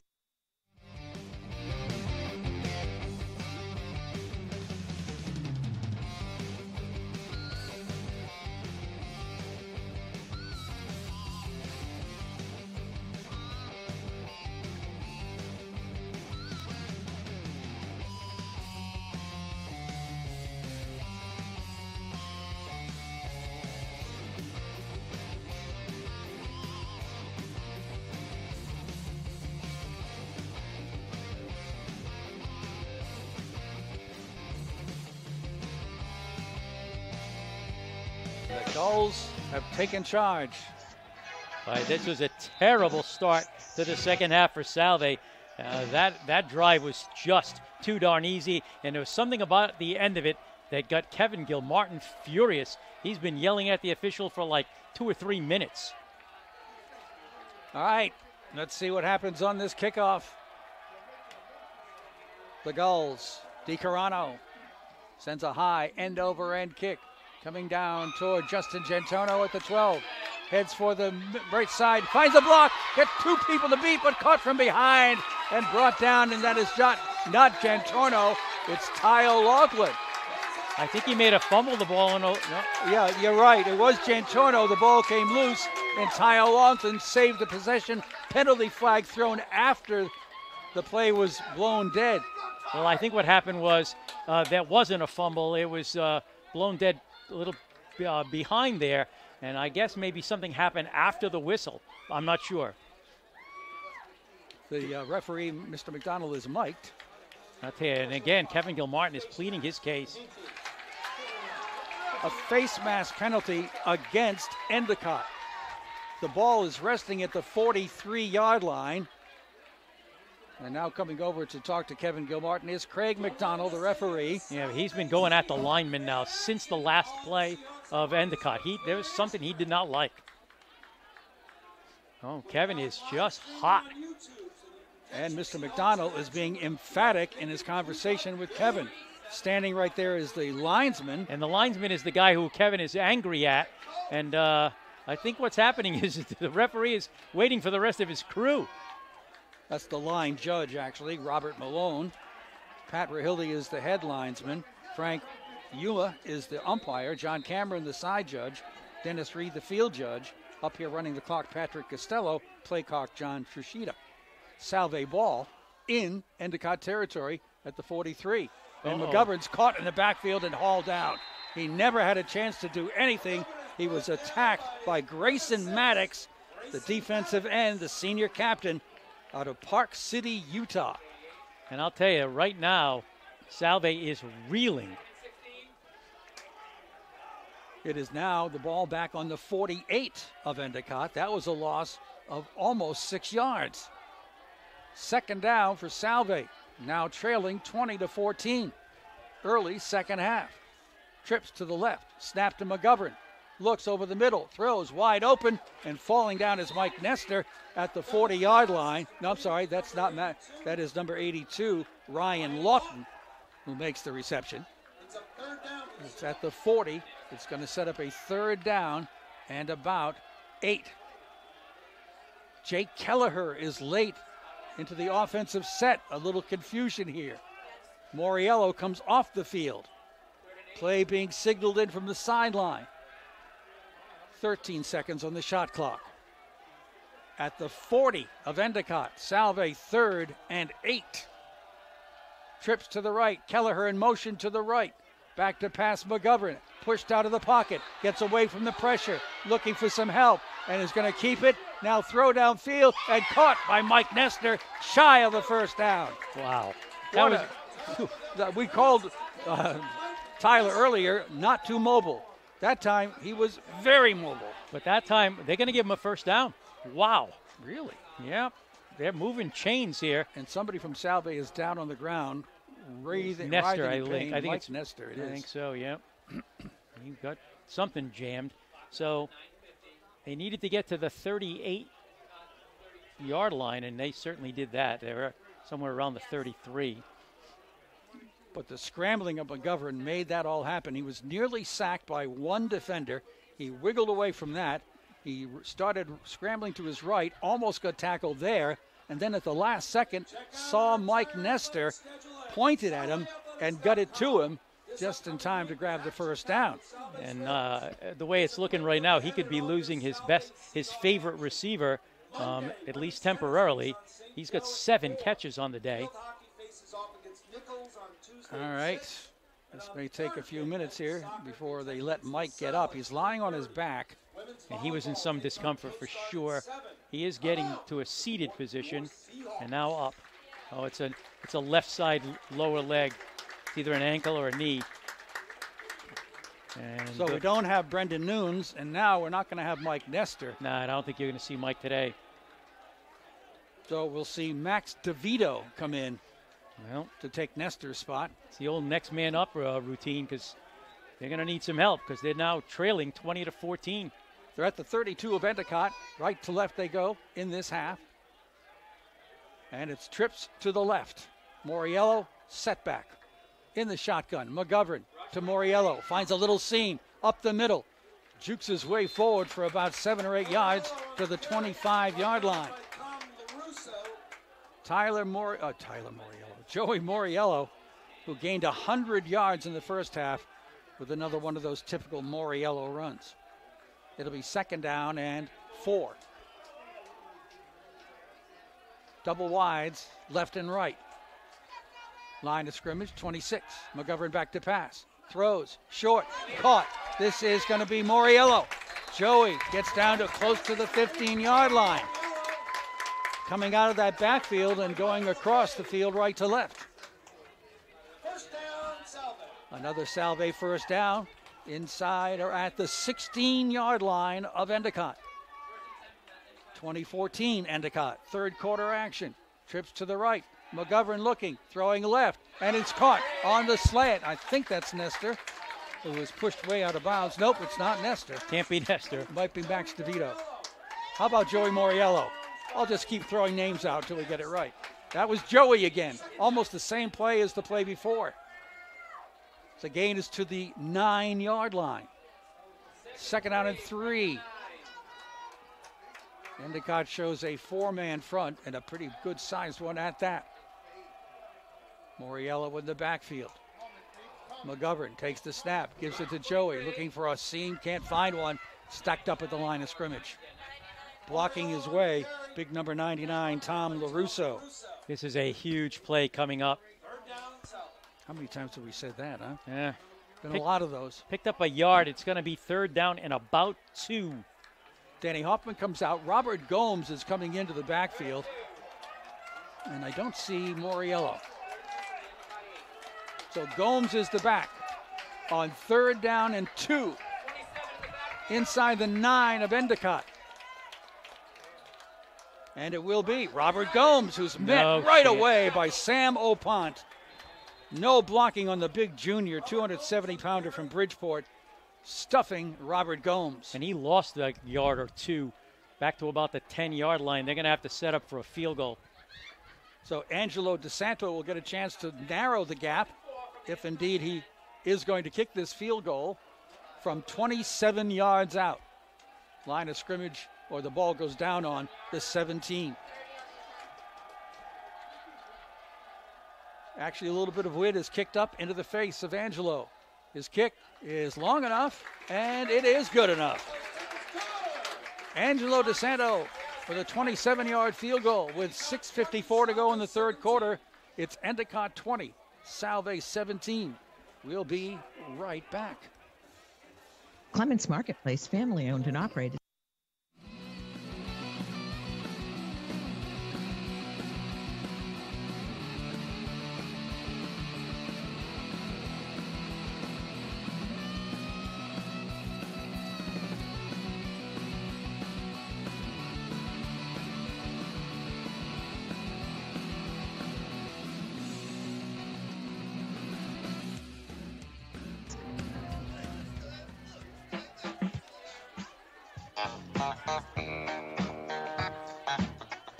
Salve get some points on the board in the second and the third quarter, but they have to settle for a field goal. Endicott came up with a touchdown. 2017 is the score. DeSanto with the kickoff. Line drive kind of kick, pretty deep. Bracamonte at the seven, looking for some running room. Comes up the middle this time, and it's going to be slowed down and brought down at the 30 yard line. Well, for Salve, that was an eight play, 47 yard drive that ended up stalling at about the 10 yard line. So Angelo DeSanto came in, kicked a 27 yard field goal, getting Salve three points and pulling them to within 20 to 17 with six and a half minutes left to go in the third. All right, for the Seahawks, that front line working hard. Nick Palucci and Jack Gulfey in the middle of it. Suki Singh and Brandon Kaplan on the outside of it. Linebackers Drew Balistrieri, Matt Messner, and Carlos Rivera, or Zach Katarius. Just the tempo alone by Endicott is just phenomenal. At their own 30, first and 10 for the Gulls, leading 20 to 17. And a long delay here for a moment. They're trying to fix the clock. Uh, yes. I think they want it to be 6:54 or something like that. Well, they've got it to 650. Okay, they're going to settle for that. All right. And Joe Kolaski, who's a senior and a captain, goes back to work. Good sized quarterback, 6'2, two and a quarter. Yeah, he's a big, big kid. John Kenny alongside of him. And back to pass Kolaski, looking to his right, and the throw is a little low. Intended over there for McManaway again. Well, with the ball on the right hash mark, he threw way over to the left side. I think the thing was just too darn long. It's hard to complete when you're going that across the field like that. Charlie Connell was the man on the coverage of McManaway, who had got the best of Justin Jantorno in the first half. Second down and 10. Well, Salve kind of needs a stop here. And it got at their 30. Right now, not much of a breeze. In motion. Zach Denike. Handoff goes off tackle. And there is Matt Messner right there to stop the runner cold. Great solid hit on Anthony Whiteley by Matt Messner, the leading tackler on this team, the junior from Midland, New Jersey. Well, he, well, they gave him four yards on that play, but uh, what? I know it didn't look like it, did it? No, it didn't. Third down and six. Ball at the 34. Likely to go to the air with the trips to the left side of this formation. Snap. Kolaski back to pass, being rushed by Zagarius. Sack again! Zach Katarius with his third sack of the game. Boy, I tell you, what a game for him. Back to the 21 yard line, a loss of 13 yards. sophomore out of Sandwich, Mass. 5'11, 210, Zach Katarius. Fourth down and long, and on to punt is Neil Perry. They hadn't been getting to him until then. They got him early, and now they're going to get the ball back, probably a pretty good field position, although this kid can punt. Justin Jantorno is the single deep back inside his 45 yard line. Here's the snap. Here's the kick. It's high. And Jantorno is going to let it go. Don't touch it, sir. and it'll be downed at the 33 yard line by Endicott. And it's Andrew Hancock. So Salve gets it back. Flag dropped back where the snap was made and the punt occurred. Hmm. I didn't see any roughing of a kicker or anything. I didn't either. Huh. Just because I didn't see it. It doesn't mean it didn't happen. And it's a first down. Oh, man. That is dreadful for Salve. I saw somebody get pretty deep and jump up and put his hand up, but I didn't see what happened after that. He might have just landed on the punter. Oh. So to the 36 yard line they go. Well, let's see if Salve can do something about stalling this one. Otherwise, a big break right here for Endicott. Well, let's hope we don't remember that one. Double winds left and right. Kenny's the setback alongside the shotgun quarterback, Kolaski. With his long snap counts. Gets the snap. Two step drop. Looking. Still oh, looking. Oh, there Throws it is. one. A holding penalty we've called on a pass caught by Anthony Bracamonte. Stopped by John Good. But way back upfield where the pass was made, there's a holding call against Endicott. And if it's a spot foul, it was in the well in the backfield.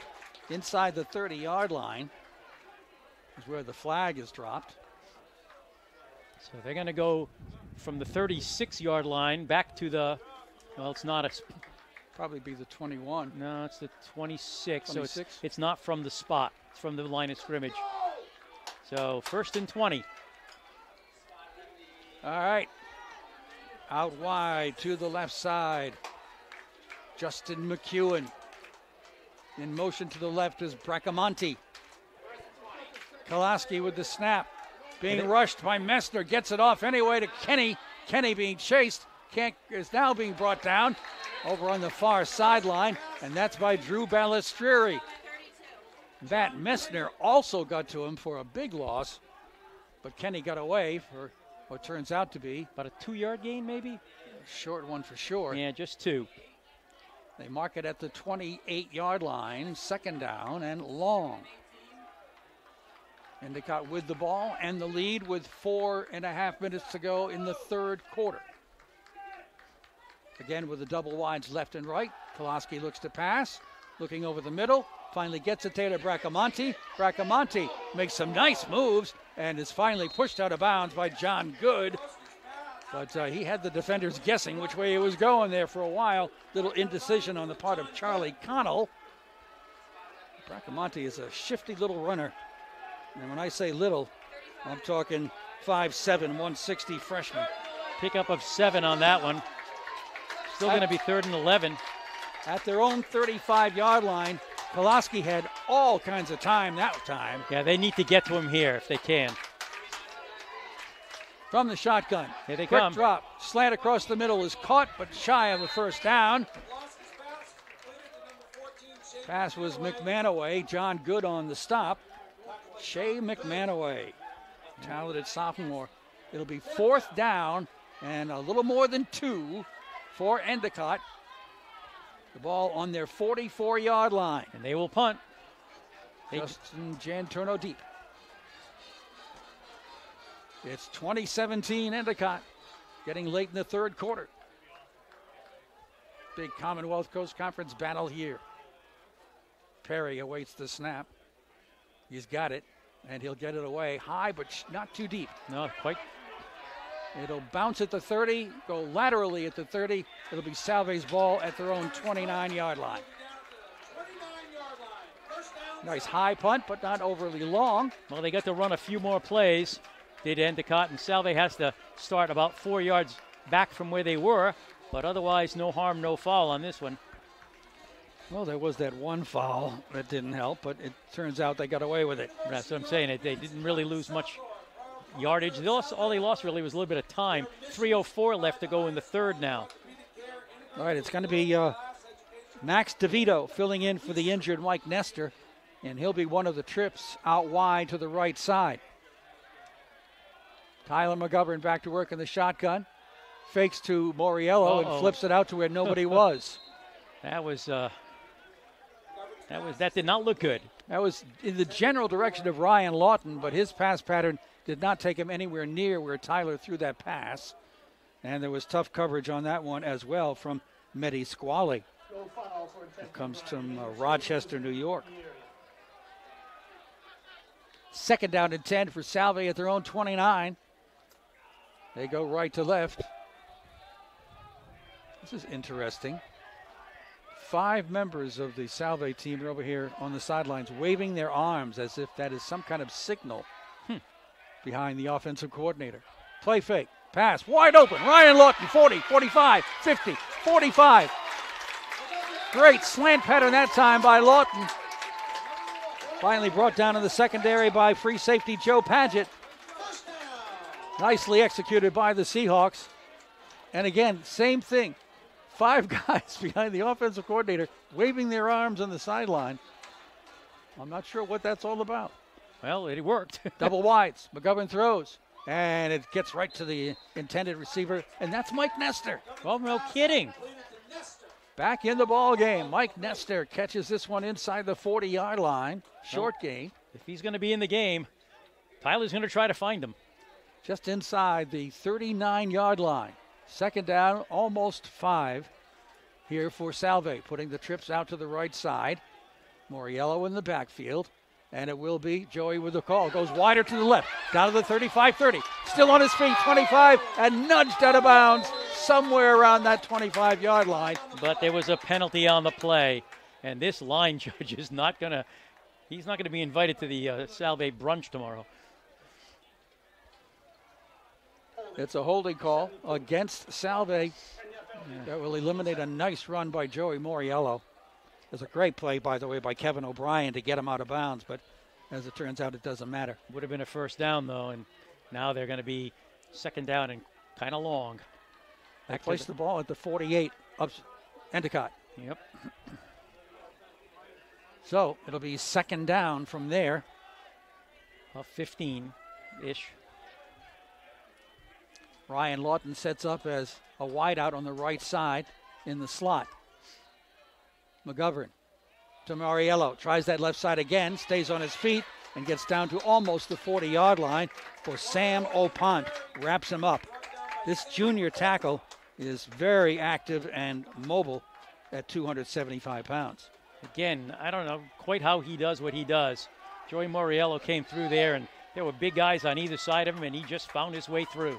Third down and seven. Salve at the 40 of Endicott. Again with the double slot formation on the spread. McGovern looking left, throws left, and it is in and out of the hands of Danny Hoffman, who would have had a first down had he been able to hold on to it. So it brings up fourth down for Salve. We're late in the third quarter, just over a minute to go. Salve down by three. And this is usually where, in this part of the field, Tyler McGovern punts rather than passes. He steps back a couple of steps. Oh, he's offside. Oh, yeah. Endicott Ah. looks like they charged into the neutral zone. A false start is Oh, the you- indication. No way. So there was some movement on the front line there by guess. Salve. Well, yikes. So we'll push it back five yards. Yeah, there's someone came across for Endicott, but apparently they were drawn off by some movement. So the ball's at the 45 of Endicott. Tyler again sets up in a shotgun formation, then takes a couple more steps back, gets the snap and gets the punt away, but this one's really short. And it's going to hit inside and take a Endicott roll. Wow. So That, finally stopped over there by Salve Regina's Mike Saunders. about a 12 yard punt. He has to do it quickly because he's not that far off the line of scrimmage, Tyler McGovern. So that time he couldn't get a lot of foot into it. As a result, Endicott's on their own 28 yard line. First and 10 and leading 20 to 17 in the final minute of the third quarter. Joe Kolaski has impressed with that arm of his. He's got trips to the left side. Play fake, throw on the left is caught, and a gain of about five yards coming out of this one. And that passes to Zach Denike. So again, Drew Balistrieri gets in on the stop. He's been active this afternoon. Ball is at the almost the 34 of Endicott. Play fake. Oh, Kolaski gets it away. It's caught by Denike. It'll be a first down just over the 40 yard line. It was good coverage that time by the Seahawks, but it was such a perfectly thrown pass. And good pressure on the quarterback, too. So first and 10, no huddle. Right up to the line of scrimmage come the Gulls. Ty O'Loughlin is coming into the secondary. The play is a run, and that's Whiteley, and he gets a short gain.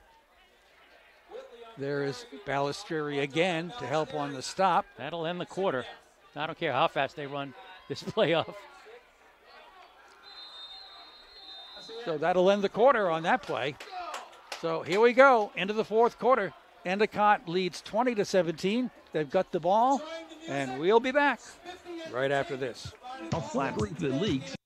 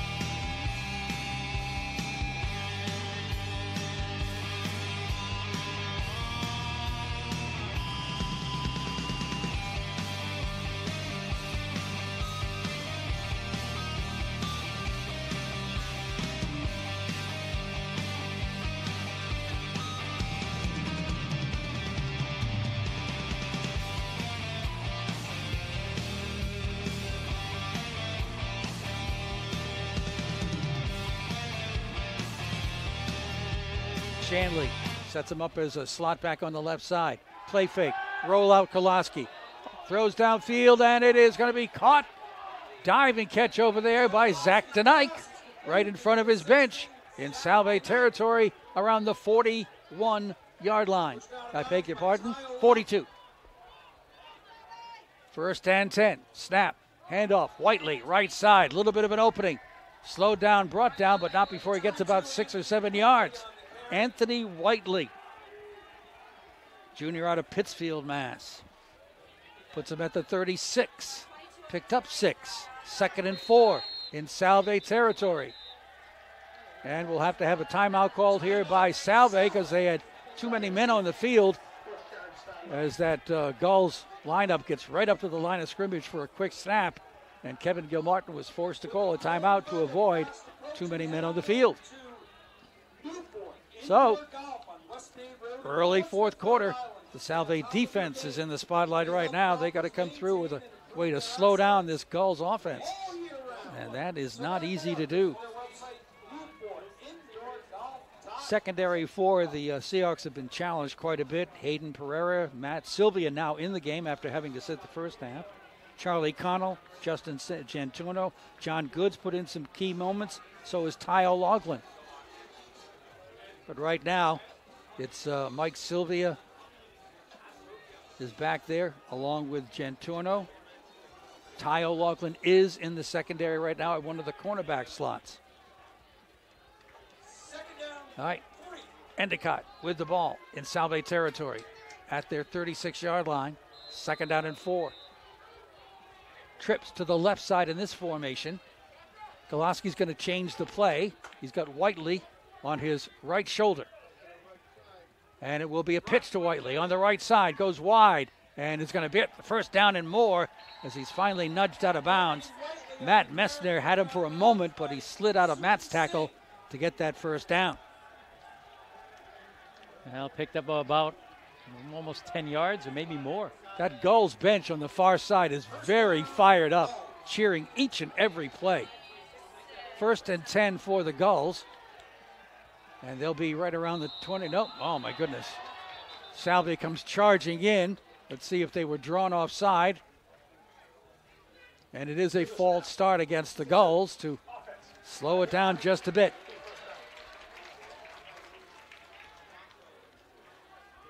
Fourth quarter. Plenty of time to go. Over 14 minutes. 20 to 17 Endicott. Ball now comes back to the 33 yard line, first and 15. Trips formation to the left. The throw goes wide downfield, and there was contact down there where Ty O'Loughlin was covering Justin McEwen, and apparently he got a little bit too much uh, hands on him, and it will be a pass interference call that will go against Salve Regina. Waiting for the official indication now. Holding, defensive holding on uh, Ty O'Loughlin. Now, is that a first? Uh, it's usually an automatic first right, down. But is it a five or a 15? In college, I think it's five, like the pros. They bring the ball back to the original line of scrimmage with 33, and they'll mark off more than five. 10. Put it down at the 23 yard line. And it is automatic first. First down. Yep. First down. The Gulls on the march, trying to add to their 20 to 17 lead from the 28 yard line. Looking to pass again toward the end zone, and this time overthrown. Intended down there for looks like Zach Denike again. Joe Kolaski trying to lay it in the corner of the end zone right side. Just a little bit too far for Zach tonight. Pretty good coverage, and Salve's been doing this on, the, on a lot of passes where the coverage is tight, but the defender never looks back, so they don't know where the ball is. So that time the, the coverage was good, and the pass was just too long. Second out and 10 for Endicott.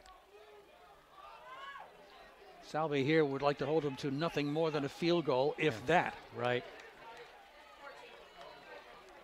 All right, double slots, left and right. And it will be a handoff off tackle. And this is going to be Whiteley driving inside the 20 yard line. Nice piece of uh, yardage right there, following blocking on the left side, which is five, led by Isaiah Gibbs and Andrew Padino. Well, it's now third down and five. They're in field goal range, but boy, does Salve need this play. Crowd trying to help out here for the Salve defense. At the 18 yard line of Salve. Shotgun as usual.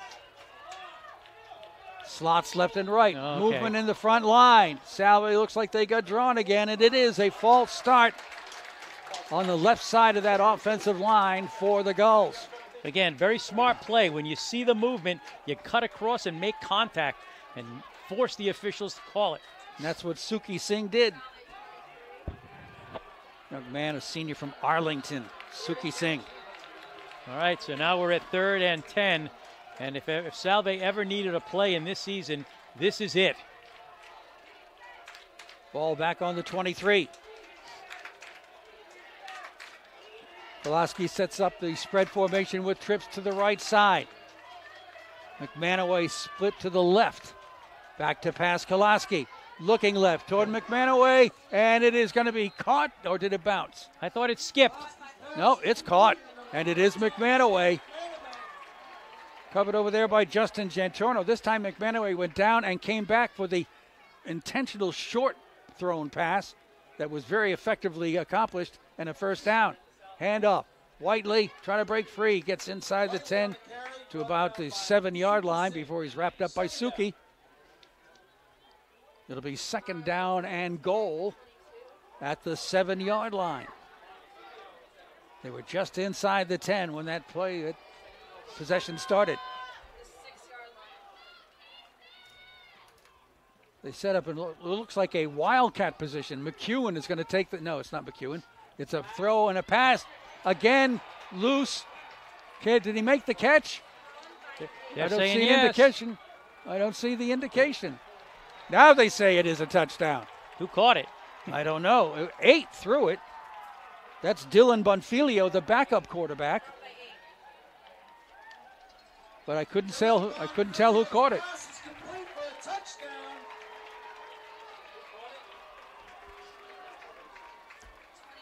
I know who threw it, but I don't know who caught it. 22. Somebody we don't.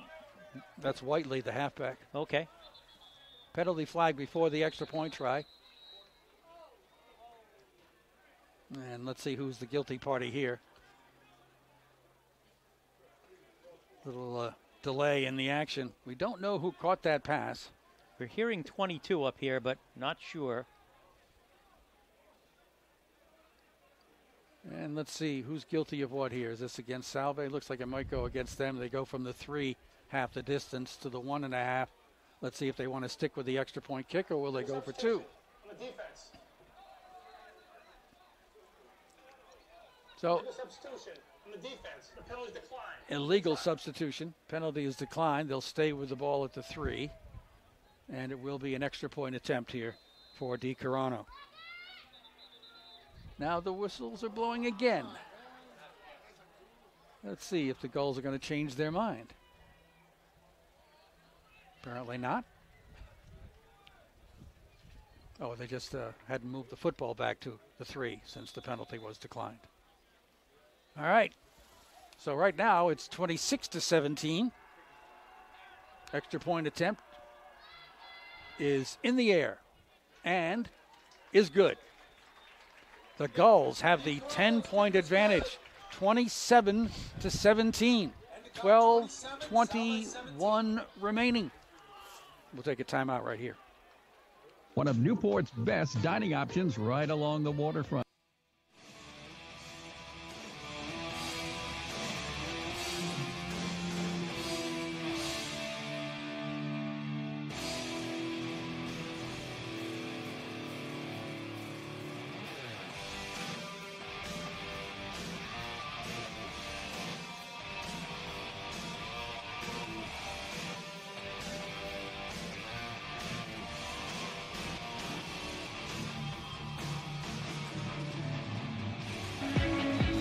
The fourth quarter. Endicott's got a lead of 10 points now, 27 17.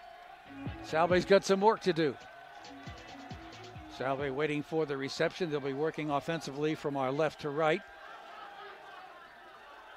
Justin Jantorno in the middle of the deep set here for Salve. The kickoff is a high end over end kick that's going to sail out of bounds. So if Salve wants, Final play. They can have it upfield or force a re kick. Me, I'd like the 35. And it looks like Salve will go that route and get to work. Again, that front line for the Seahawks working hard and outweighed quite a bit. But uh, Mike Saunders, senior captain in the middle at center. Stephen Dewey, Kyle Wisniewski at the guards. Dewey from Plymouth, Mass. Kyle's from Harwich, Mass. Pete Noonan is the uh, tackle on the left side, junior from Ardmore, Pennsylvania. Elian Telford, a sophomore from Phillipsburg, New Jersey, seeing a lot of time on the right side. And it will be at the 35, first and 10, Salve. In the shotgun, Tyler McGovern. Back to pass. He's got time, throws over the middle. It's up there and picked off in midfield. And making the interception is Joe Paget. And a costly turnover there for Salve Regina. That one was floating up in the air, well downfield, but Joe Paget easily picked it off. And on a return right in front of the Salve bench, sets up Endicott at the Salve 43 yard line. Well, that might be the play that just, you know, really, really puts this game in Endicott's favor. If Salve can't come back, it could be that play that was the absolute final turning point. And we'll see how much Endicott keeps throwing the ball. Oh, I don't think they're going to stop. They've got slots left and right at the 43. It'll be John Kenny with the ball going right up the middle, following the blocks for about three yards, and then push back.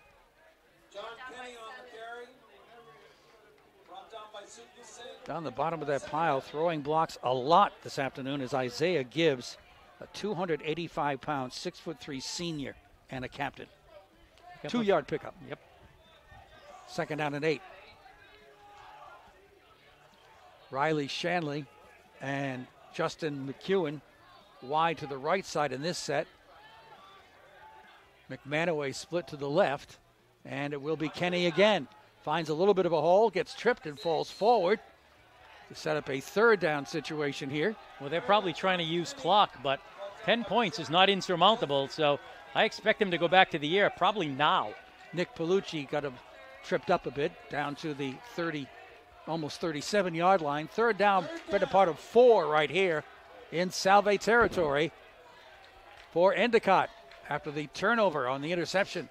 Trips to the right. McManaway to the left. Back to pass Kolaski. Flips it out over here to Kenny. Kenny turns the corner, stays on his feet, dives to the 30 yard line. That would be enough for a first down. Kenny rolling out of the backfield to the left, gets down inside the 32. First down, Endicott. Slot formation right. Kenny gets the handoff, goes right up the middle again. Two or three yards at most. And down the bottom of the pile to make the stop is Suki Singh, who's had a busy afternoon. Well, they just decided they're going to try to run some clock right now. More than 10 minutes to go in the game. Salve down by 10. Second down, six. At about the 27 of Salve. Kenny again tries the right side, doesn't have anything. And there is Matt Messner, no, Drew Balistrieri to get there first to wrap him up and bring him down for a loss. Drew has been very effective from his linebacking position. He's a captain as well out of Lynnfield, Mass. The loss is back to the 28 yard line. Well, they're going to have to stop one of these. Third down. About six. Right now it's Riley Shanley and McManaway split out to the left side. Double wides to the right as well. Kenny in the backfield. Shotgun. Play fake. Throw over the middle. Caught down around the 21 yard line by McManaway. And that's going to be uh, Should be good it. enough. Yep, Yep. good enough for the first down. Quick short passes getting it done. First and 10 at the 21 of Salve. Trips go to the right side in this set. Kolaski looking to throw right side. It is complete to Bracamonte. Bracamonte trying to get some blocks, can't get enough. Good job over there on the far side by Salve Regina's Charlie Connell to bring that play to an end. Charlie out of Oradell, New Jersey in the uh, safety position. Forward progress of a couple of yards down inside the 20th and 19. Kenny stays in the backfield. Trips go over to the left side, and it will be Kenny again looking for blocking on the right side. Stuffed and pushed back. Once again, Drew Balistrieri right there to make another tackle. Gain about another yard or two to the 17. I don't know why Endicott would be in a hurry to keep running the quick plays without the huddles. That's true. I'd slow it down a little bit more from that angle. I know. They're under eight and a half minutes to go now. But this is what they do, and they do it very well. They sure do this. They've looked very good today. Spread formation with the double wides left and right. Snap back to Kolaski, throwing on the right side. It is caught by John Kenny out of the backfield, nudged out of play, but right near that first down marker at about the 11 yard line. And another first down for the Gulls. They're using these very quick slant patterns, often with the backs, either slanting left or right, five yards, six yards downfield, angling off toward the sideline. Snap, handoff, Kenny up the middle, a yard or two at most, as he is wrapped up again. And this time brought down by uh, Salve Regina's. He actually lost the yard, didn't he? Did he lose that? Well, 56 on the tackle. now we'll call it no game. And let's find the right team here, Bob. That's Alex Pitzer. who made the stop. At the 11. And it will be Kenny going wide and Kenny getting wrapped up. And there he is again, Zach Katarius. What an afternoon for this sophomore. Loss of about five yards on the play. It's going to be third down and 15. They can get a first down at the one. They are at the 16 yard line. Looking to the sideline for the play. Kenny stays in the backfield. But they have made so many clutch third down plays this afternoon. I'm telling you, I'm impressed with Endicott today. Trips on the left side. The man in the middle of the trips is the tall guy, Riley Shanley. And it will be Kenny running right up the middle and found room. He drove down to about the six. Got 10 yards or so. Yep. But it's not enough for a first down. We had to get to about the one, so they're going to probably set up for three more. Ball is at the six. Fourth down. And here, here comes come. the kicking team. They've got a 10 point lead. So no matter what, it stays a two possession game.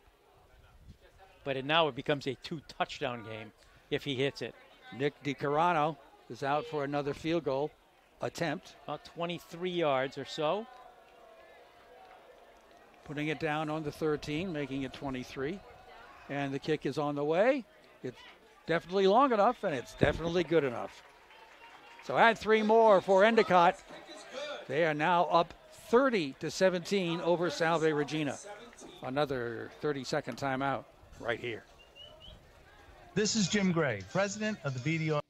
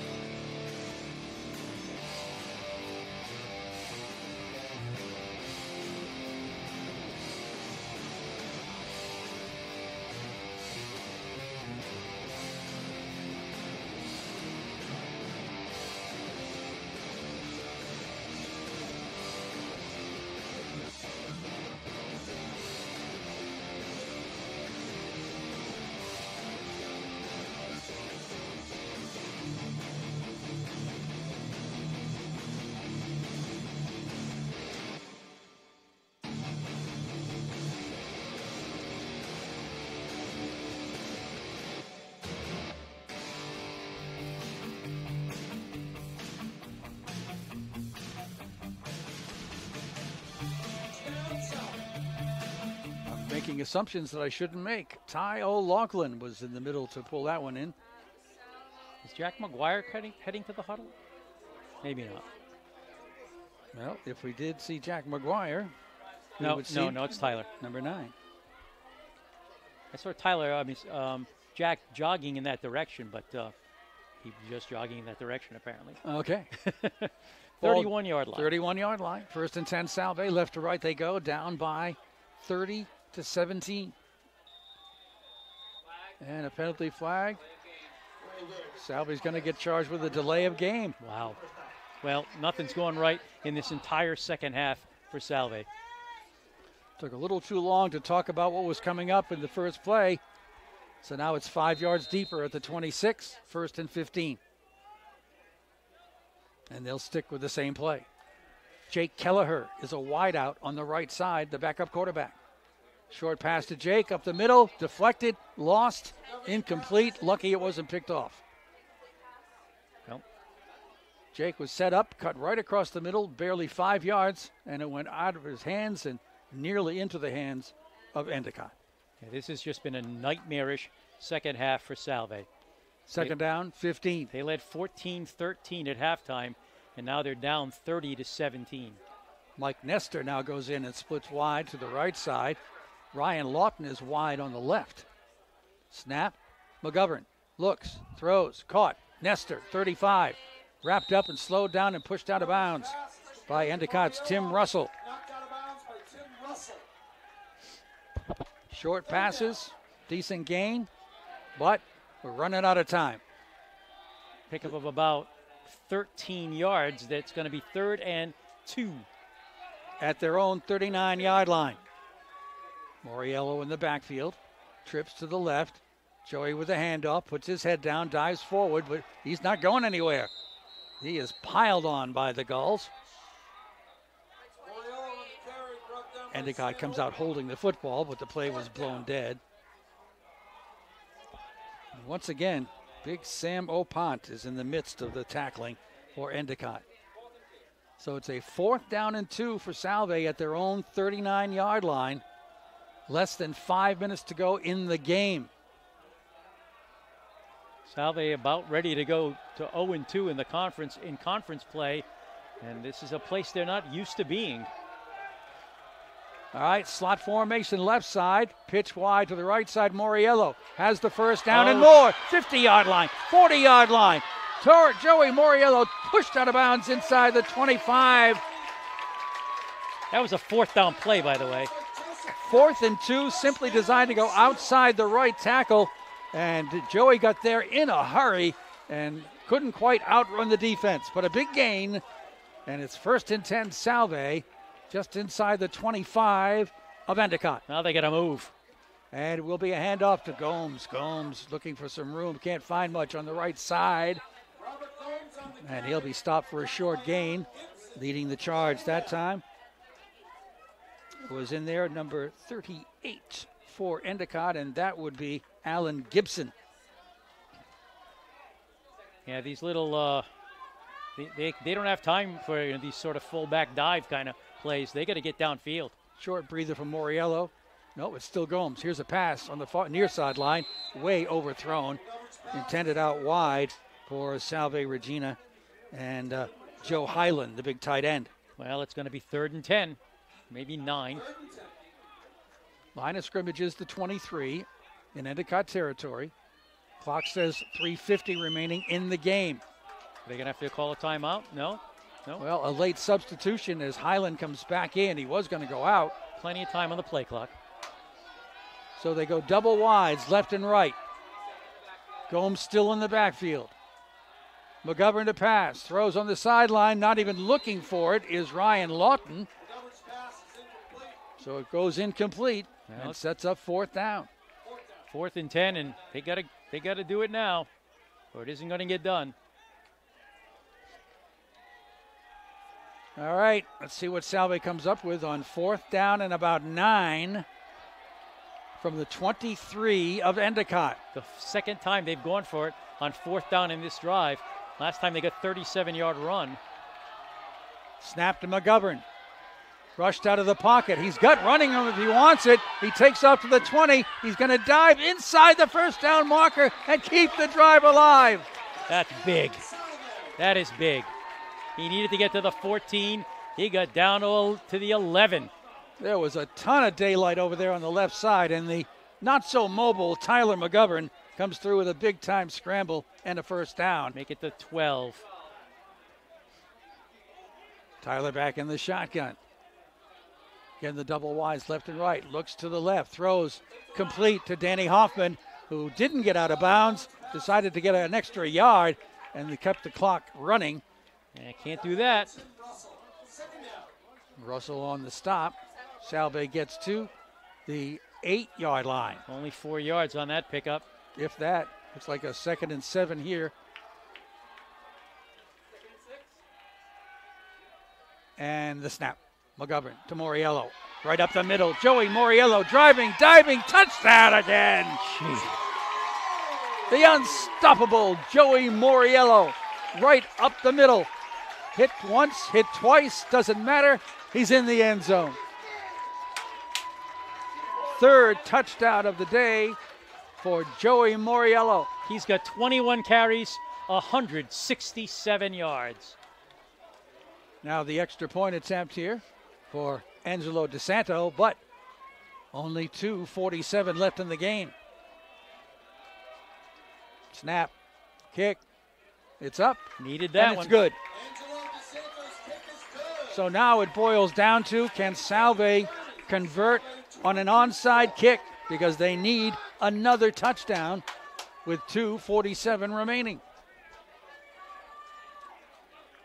Well, certainly nothing, nothing boring about this one as they just keep coming back and forth. And now Salve is within six, 247 to play.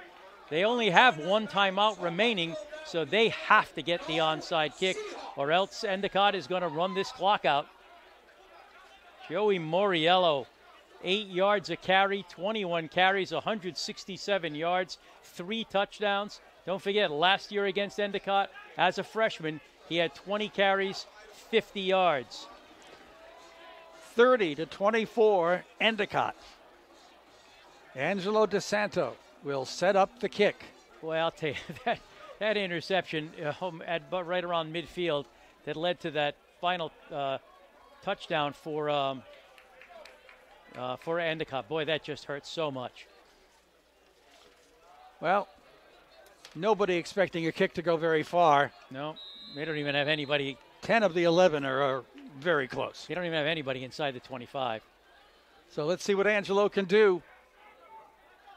Here comes an attempt for onside. No, it isn't. It's a pooch kick coming downfield. Bracamonte is going to take it and fall down at the 19 right away. Interesting decision for Salve trying the pooch kick. Got a little too far. Yeah, just a little bit too far. Yeah, you got to go between the front line guys that are waiting for the onside and the one deep guy that's back. You got to kind of get it in between them so that it kind of falls in no man's land. But that time it went all the way to the deep guy, it was Bracamonte, and all he did was catch it, lie down, get an extra yard from the officials to the 20, and that's where we'll start. So first and 10 for Endicott, six point lead. There's just over 240 remaining. And there's not much they can do. They have to get three and out. And I don't know what that was, but that That's was a, a delay a game. Yep, delay a game against Endicott. They took too long to send out the offensive unit to set things up, so they go back to their own 15. Makes it harder to get a first down, but they just want to run clock. Salve has to judiciously use the only timeout they have. Oh, do they have two? Yes, they have, they have two. two. I'm they sorry. Fix the scoreboard. I am sorry. So they can no, so they can get this ball back, but they gotta they gotta get a three and out. And it's a hand up up the middle to Kenny. Kenny's going to run into a a wall of Salve defenders and led they, by number five, Nick Palucci. And they use their timeout, so they're gambling that they're going to get it done on this three play series. Now they've left themselves with one timeout, second and 14. The ball is resting on the 16 yard line. I'll tell you, crazier things have happened a large, large crowd on hand for this fall festival weekend, a homecoming parents look, weekend. Look at this. The entire Salve team is joining the huddle. Is going to the huddle. Unbelievable. Okay. The, the, guys on the outside won't be able to hear a word. No, I don't think so. But got to get it together here. Well, and be careful of not overplaying a rush and giving up an easy pass. Yeah, that's important. I'm telling you, Endicott, as we've seen all afternoon, is a very good and very poised football team. They've converted third down plays. They've done they've done the things they've needed to do. They haven't made very many mistakes. Paul McGonigal has done such a great job with this football team, and this is second year. And it shows this afternoon. Second out. Tight formation. Pitch wide for Kenny. Looking for blocks wide, right side, and gets a decent gain out to about the 25. Grab nine yards. It's going to be third and five. And this entire football game, and in a way, this season, of rest. Oh, he got him out to the 27. It's going to be third and three. That was an 11 yard pickup. Ouch. They stacked it up tight and pitched it to Kenny, who ran right to get just enough blocks to make it interesting to the 27. Third and three coming up. If they stop it here, you know, obviously Endicott will um, let the clock, the, the play clock run down nearly to zero before they'll punt. But Salve would get decent position with eh, like a minute and a half to play. You know, not not a, not easy, but it all starts with this play. If they don't stop this play and Endicott gets a first down, you're going to be seeing some victory formation pretty soon. Salve is out of timeouts. They need this crowd here, too. And the crowd comes to life, doing what they can. This is why they're here. Here we go. Third and three. Endicott at their own 27. The back in the back is, is that Kenny? I believe it is. Kolaski in the shotgun, waiting the snap. Long count. He wants them to jump. They won't. There it is. The snap, the throw, and it is caught by Kenny. First down on the far side, and Endicott will keep the possession and win this ball game. John Kenny out of the backfield on the far right side, they, makes the catch, gets the first down. They sent people. They nearly got to the quarterback, but they could not. It's going to be a first and 10, and that should do it. Yeah, they can't stop the clock. Over two minutes to go. What a day for Joe Kolaski. They'll still use the spread formation. Well, with Kenny in the backfield. And all they know. Minute 45 to go. I don't know why. They're not going to take a knee. Kenny. Now the now the, now Salve has to go for the ball. Got about a yard from the 32 to the 33. I don't know why they're I don't know why they're handing off. Seriously. I mean and and again, rushing to the line of scrimmage. Uh okay. Second out and nine. Ball at the 33. All right, now they're now they're slowing it down. Time remaining 115. Yeah, Salve has to tackle the ball and that's about all they have.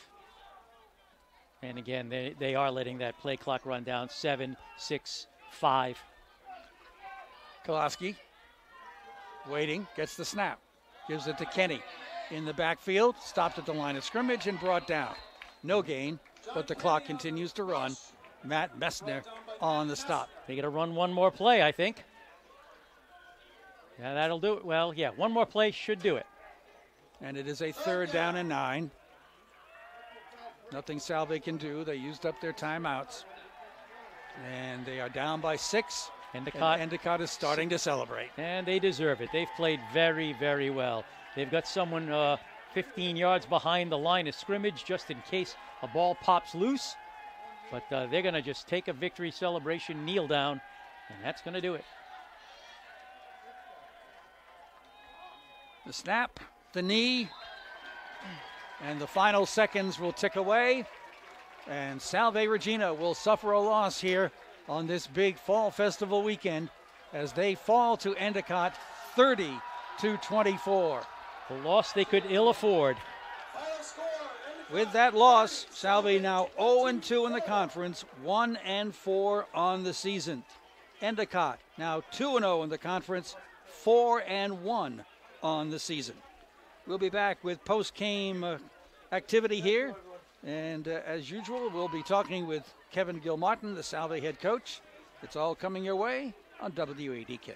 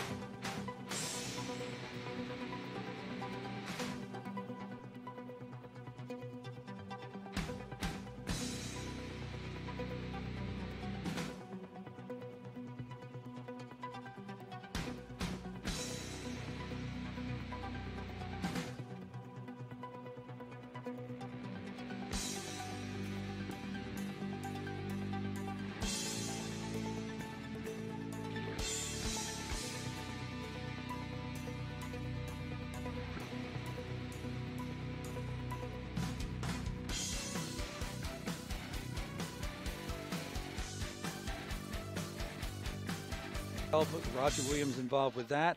There was uh, men's and women's rugby part of the schedule today. Salve men hosting Stonehill, the women hosting Wentworth. Um, and we had some women's tennis with Roger Williams involved with that as well coming here. So a very busy weekend. And unfortunately, this football game has a uh, not so happy ending here for the Salve Regina fans. My goodness. And um, now it's, uh, well, we focus on a Hall of Fame ceremony tomorrow. By the way, we want to say again, congratulations to this year's inductees into the Salve Athletics Hall of Fame Andy Andrade, uh, Katie Burrell Haskell, Joe Picozzi, and Brian Shanley. The ceremony tomorrow at Ochre Court, brunch at noon. You need tickets for that. Ceremony, induction ceremony at 1 at Ochre Court. You don't need tickets for that. All right, as for this football game, well, well, well. Um, and again, uh, they, they had exactly 186 total yards apiece at halftime. And at the end of the game, Salve has 339, Endicott has 336 total yards. It was that much of a flip of the coin. Salve ends up losing it by six points, and I'll tell you, they couldn't really afford this one, and it just was a great game that didn't go their way. All right, we'll take a look at the recap of the scoring and some numbers for you here during our postgame. A lot of scoring in the first quarter. Salve, after causing a fumble by the quarterback with a big hit on his arm that scooted the ball back 22 yards. They took over at the 14 yard line of Endicott, and two plays later, Joey Moriello with a nine yard touchdown run made it 7 0 Salve. That was it for the first quarter. Into the second quarter, we went with 12:28 to go. Uh, it was Endicott that went nine plays, 80 yards, and Shane McManaway a five-yard touchdown pass from Kolaski. Uh, they had they hooked up a few times on that drive. That made it 7-7. With 3:03 left to go in the half, it was an 11-play, 76-yard drive that failed. I mean, sorry, that stalled. But DiCarano, the good field goal kicker uh, for uh, Endicott, and in fact, he was probably your MVP if you're Endicott, kicks a 34 yard field goal, gives Endicott a 10 to 7 lead with three minutes to play in the half. With 18 seconds to play in the half, Salve scores. They go nine plays, 78 yards, and Joey Moriello with a 42 yard touchdown run gave Salve a 14 10 lead with 18 seconds left to go in the half. They try a short pooch kick that gets to the 40, a 15 yard penalty, and then about a 16 yard pass play. And all of a sudden, with no time left on the clock as time was expiring, they finished that two play, 31 yard drive, and DiCarano with a 46 yard field goal made it 14 13 Salve at halftime. And I'll tell you, did DiCarano have himself a game? Uh, into the second half we go, and it started out miserably for Salve. They got the ball to start the half, went three and out. Then it went back to uh, to um, uh, Endicott, who just very quickly moved down the field. Six plays, 55 yards. Shea McManaway with a 12-yard catch from Kolaski. That made it 20 to 14 Endicott. Salve came back though with 6:54 left to go in the third. They went eight plays, 47 yards, but couldn't punch it in. Angelo DeSanto had to attempt a 27-yard field goal. It was good. They got to 20 to 17. Into the fourth quarter we go, and this is where it all went bad for Salve. Um, with 12:21 left to go, it was a four-play, I'm sorry, an 11-play, 72-yard drive. Anthony Whiteley uh, with a five-yard touchdown pass from the backup quarterback Bonfilio. That made it 27 to 17 and uh, that pretty much kind of put the game away. Salve made a kind of a last attempt in the fourth quarter, but an interception somewhere uh, deep uh, really, really caused a problem. And uh, it was a 12 play, 37 yard drive. Not so much the three points, but the fact that they just killed so much clock on that uh, on that drive. And uh, DiCarano again with a 23 yard field goal. That made it 30 to 17. Salve wasn't done with 247 left to go. 10 plays, 69 yards. Joey Moriello takes it from the 8 to make it 30 to 24. Salve just could not stop the third down play that they needed to to get uh, get the ball back and try to get this uh, get this win. They lose 30 to 24. Individual numbers. Here we go. for Salve, Joey Moriello, an absolute spectacular day. 21 carries, 167 yards, 8 yards per, and 3 touchdowns. Really, nobody else carried the ball worth mentioning. Uh, Tyler McGovern was 20 for 33 for 160 yards, 67 yards, but two interceptions. Really, really hurt. Catches by Danny Hoffman. He caught four of them for 42 yards. Mike Nestor caught nine for 51. Real favorite receiver there. Joey Moriello caught four for 30. Ryan Lawton, two catches, 36 yards. And Max DeVito had a catch for eight. Uh, so for Salve, 25 carries, 172 yards on the ground, 167 of them by Moriello. 20 for 33 passing, 167 more yards. They had 339 total yards. We'll get to Endicott right after you talk to the coach. Oh, I didn't even see him. You yeah, saw I, him. I saw him. Okay, well, uh, here we are. Let me untangle my wires here and give you a chance to look at the total yards: 339 for you, 336 for them. Just amazing. Penalties. So you don't have that. What's that? Penalties. No. Uh, we didn't. We didn't. That's the freaking difference. Okay. Here is Kevin yeah. Gilmartin. Yeah, it was a, it was a killer. Um, well, what are the first things that come to your mind when you want to when, when we talk about this thing? Well, it's a tight game, and it comes down to the little things. You know, I mean, whether whether it's a it's a penalty here, uh, too many guys on the field, you know, having to take timeouts because we we couldn't get people subbed in and off. Um, it's the little things that we got to take care of.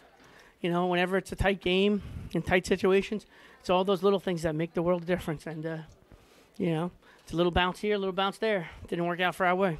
Well, you knew coming in this is a passing team, and Yep. uh, that's a that's a tough tough program to stop the, the way you were trying to do. Mhm. But uh, every now and then, you know, you slowed them down. You got off to a great start.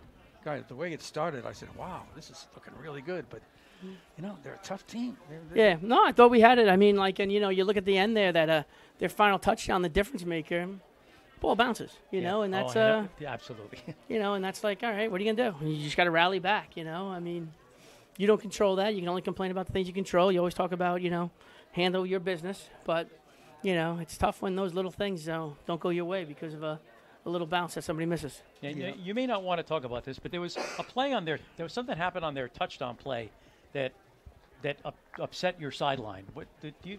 Oh, it was a legal procedure. Okay. There's four guys moving.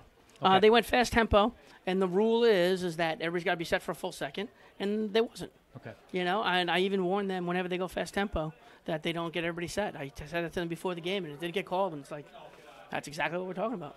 Okay.